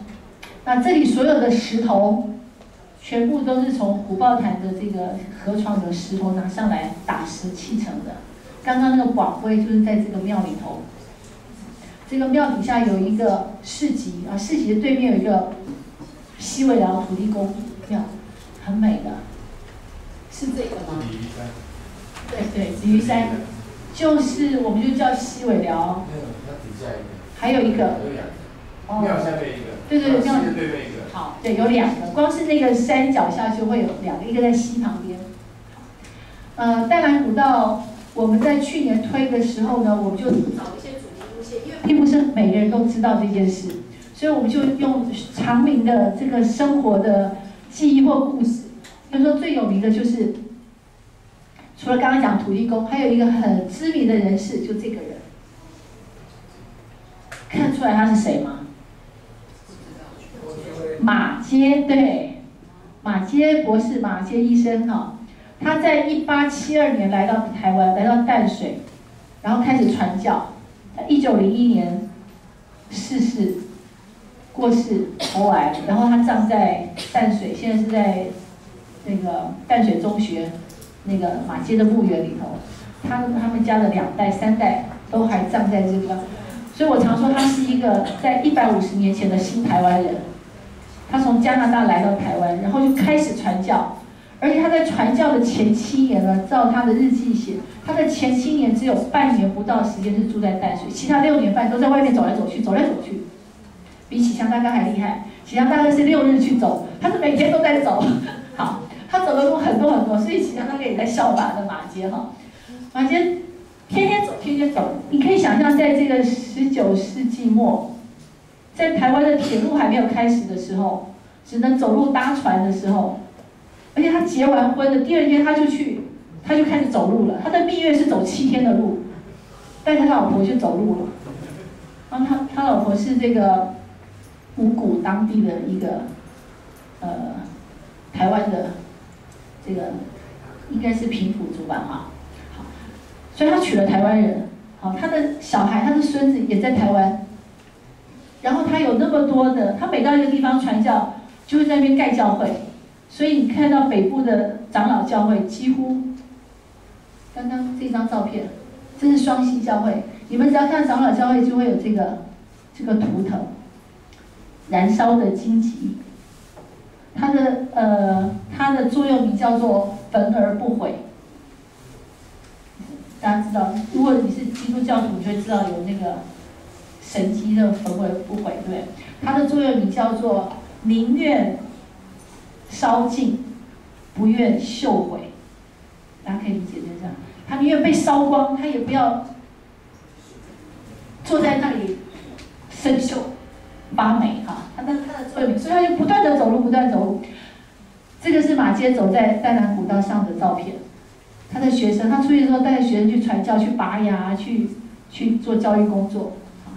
那他也曾经走在这片土地上，而且走过很多次。他光是经过双溪，在他的马街日记里头记载就有三十四次停留在双溪这个地方。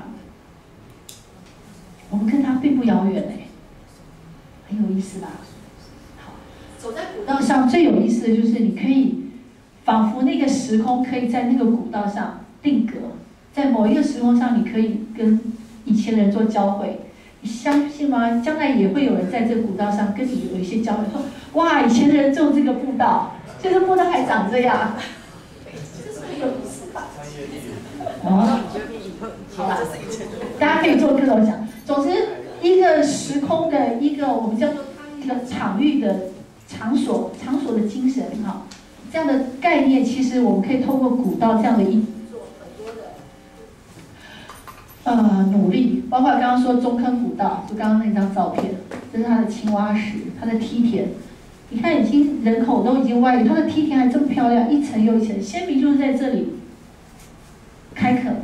你知道梯田不是天生就是梯田吗？它是依着这个地形不断的这样一阶一阶的，他们要做很多的什么，包括砌石的边坡，他要做引水路。把水旁边水怎么样倒过来？怎么样蓄水？怎么样引水到一层一层梯田里头？在这里都还可以发掘他们的在地的智慧，包括你还可以在在这里头看到那人当时的豪宅，它有三三个门的大户人家。好，现在当然看都已经还在，门就还在，旁边还有一半的墙，所以你去到县地，哇，那个感受是，譬如说这里还有这个。石错的遗址，可以。如果你可以走山里头感受这些，你会不会觉得很感动？但如果有一天去，的话不见了，天哪，变停车场了，那应该会饿完，对不对？好，这小土地公庙，最古早的这个土地公庙旁边这个小小，好，这个故事就等就等唐玉老师来跟大家讲了，好了。以后有机会的话，这个是大正元年的那个一个方向碑，方向碑就是当时的那个指呃指示牌，对不对？先人是不是很聪明？他立一个石柱，有石柱有几个面？四个面，所以他就告诉你北往顶双西，就是往北边走这样，所以他每一个面都会告诉你一个路标，这还在哦。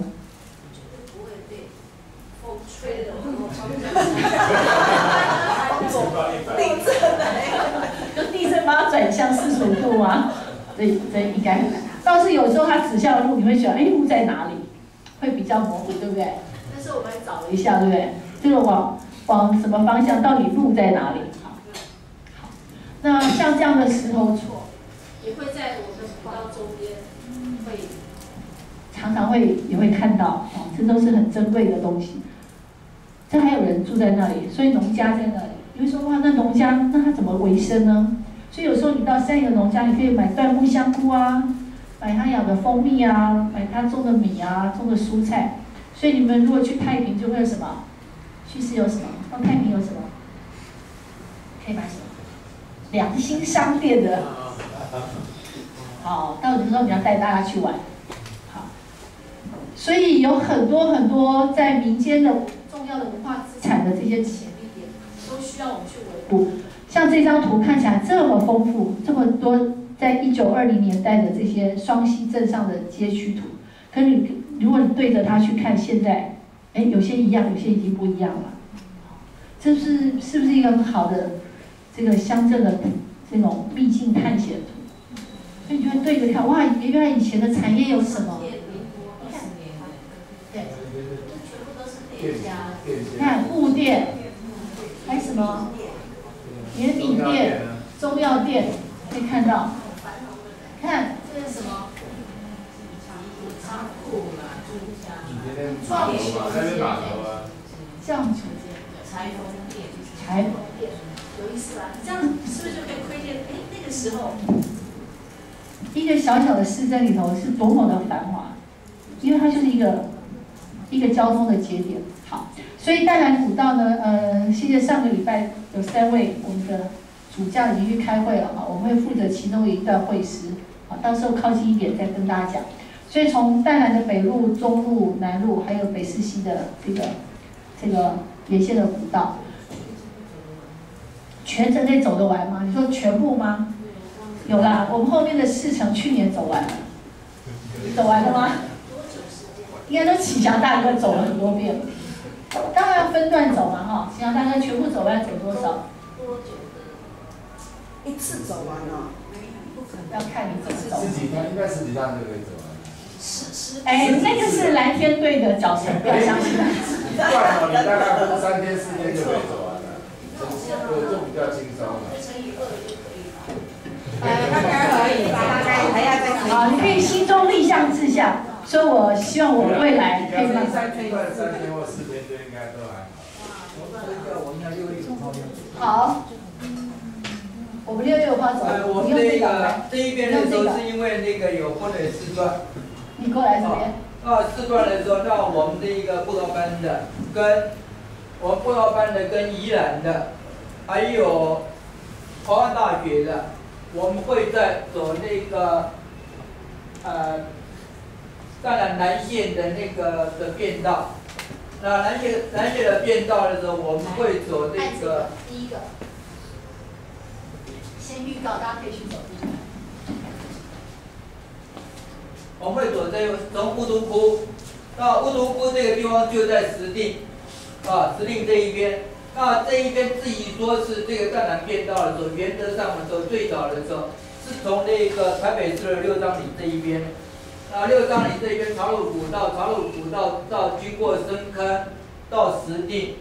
那我想说，现在有很多同学的时候是会在石碇那一边看到说是淡蓝古道。对吧？您在那个深坑老街，可以看到那一边写的老街的写那个呃淡蓝古道。那在石碇这一边有可以看到淡淡蓝古道。那我们会走这一边，因为那个淡南古这一边车子的时候到了乌乌都窟，那我们会从这边乌都窟，我们走这一走上面走到许家面线，走到那个大阁门。那接着的时候，我们就翻过这个山到那个北宜公路。这个就是北宜公路，北宜公路的那个水底寮。那到了水底寮以后，我们下到这一边这一条就是北势溪，啊，这一条叫北势溪那一边是过来这边南势溪。那那一天的时候，我们那个是走这一段，哦，我们走这一段，啊，昨天，那我们到那个到这一边的那个水底寮以后，我们下到北四溪，下到北四溪这一边，那跟宜兰这一边的啊，宜兰这边他们会骑骑脚踏车，啊，他们是已经用会用走路的，走走那个跑马古道，走礁溪的这一边的那个跑马古道过来，但是因为那一天的时间上关系，所以他们会用骑脚踏车骑骑那个去九弯十八拐，那接着到平岭，接着到这边跟我们汇合。那我以上报告这样。好，有人想说为什么要骑脚车？因为以前，呃，北那个台九，就台九就九二十八拐，它也算是以前的，因为在没有公路前，它当然就是一个步道。好，所以很危险，很危险。开车、骑摩托车也都很危险，哪路都很危险哈，就是要小心。好，好。这个先预告，我们会从乌图窟到这边跟他们从宜兰来的会合。很近，我们走的是最最容易的。我我们是最容易的。我们是走最容易的。七公里的那七公里。没有没有不会超过七公里。十公里以内。十公里内。内好。呃，手作步道部分我就不讲哈，就是我们透过带来百年三地计划，我们也希望就是刚刚讲，是把自然跟在地智慧，把这个旧道系统把它做做出来。那这个学习大家也会有机会去体验。啊，这个部分我就留到步道老师来跟大家做这个手作步道的这个介绍。那也邀请大家了哈，因为今年的十周年，千里步道我刚刚说了，我们是零六年的几月几号啊？在果答对了有糖果。六月十一。十一月十三。四月二十三。六月十一是第一次开步走。七。我有讲吧？四二三。转眼十年过去，好，四二三又出现了，所以我们会在十周年的那天，在万华的剥皮寮，欢迎大家一起去哈。在那个历史街区，为什么你想想，为什么淡蓝百年三星的串联要在万华的剥皮寮。刚刚大家那张图有看到吧？带来的古道系统，从如果北路这样一直延伸，在万华，然后到淡水出来，这个万华是一个很重要的节点。啊，所以我们选在这个剥皮寮，好，这个地方来做一个会师，免得大家到山里头会师，找不到路的，游泳会师到吗？而且我们要请四个县市的首长来扮演，呃，基本上他们应该同意啦。呃，目前同意了三个。好，还没有马街，我们还没有当面跟柯市长说，但料想他应该会同意，其他都没有问题啊。比如说四个首长就分别扮演在这个古道上不同年代的代表人物，比如说马街啊，因为柯市长是医生嘛，哈，土地公啊，呃，挑夫啊，山友等等，让他们一起来，呃，等于是共同宣誓说愿意透过这样跨县市合作。一起把淡淡淡蓝百年山境做更好的呃保护，跟民民众一起来做这个事。所以当天我们呃上礼拜又讨论，记者会是十点到十一点，那十一点之后应该会有一个小时，对不对？听是吗？一个小时，会有这个剥皮寮历史街区的跟周边的这个导览，就让大家去那边也可以认识那个地方。好，所以它也会有很多的有趣的事。那会师的部分大概就是。现在正在紧锣密鼓的做，那这是今年淡蓝百年三星启动的第一年，呃，社大辅导社会跟罗东社大跟宜兰社大这边会有，就是南北会师，所以那天我们的代表已经跟宜兰朋友见到面了哈。那当天呢，如果大家一起去，就可以可以宜兰的朋友。那我们启祥大哥带着蓝天队呢，就会跟宜兰的荒野跟宜兰的宜兰大学登山社有另外一条这个。比较难的路线哈，还有另外三月协会也会有，哎，台大是跟谁会合啊？三三社漏掉了，好，他们也会有一个会师，好，用图来表示就是这样，那我们这就会在这里，我们是很容易的，大家不用担心。最最轻松的。对，最轻松最轻，有些人要赶路，赶到那个。还经过那个遇到遇到过后，好，所以大家不用担心，好，就慢慢来。担心担心怎么太太短了哦。有骨气好，以后我们会请加入来，真的，那后续我们还会有一系列成果展，那这个成果发表是会那所以我们会带带来一馆，就是我们那天会走的那个实地。那会有一系列展出，那等靠近点再跟大家讲嘛，包括说做土地公模型啊，做三 D 的，三 D 的立三立体立体的地图嘛。大概就用这样的。呃，第一堂课跟大家分享，我们从十年前从串联步道环岛路啊，一直到进行实体的呃实践到步道的守护。乃至于现在大家参与我们步道学的课程，那加入这样的一个行业，那我会为这个土地做更多的事。那我的报告就到这里。好。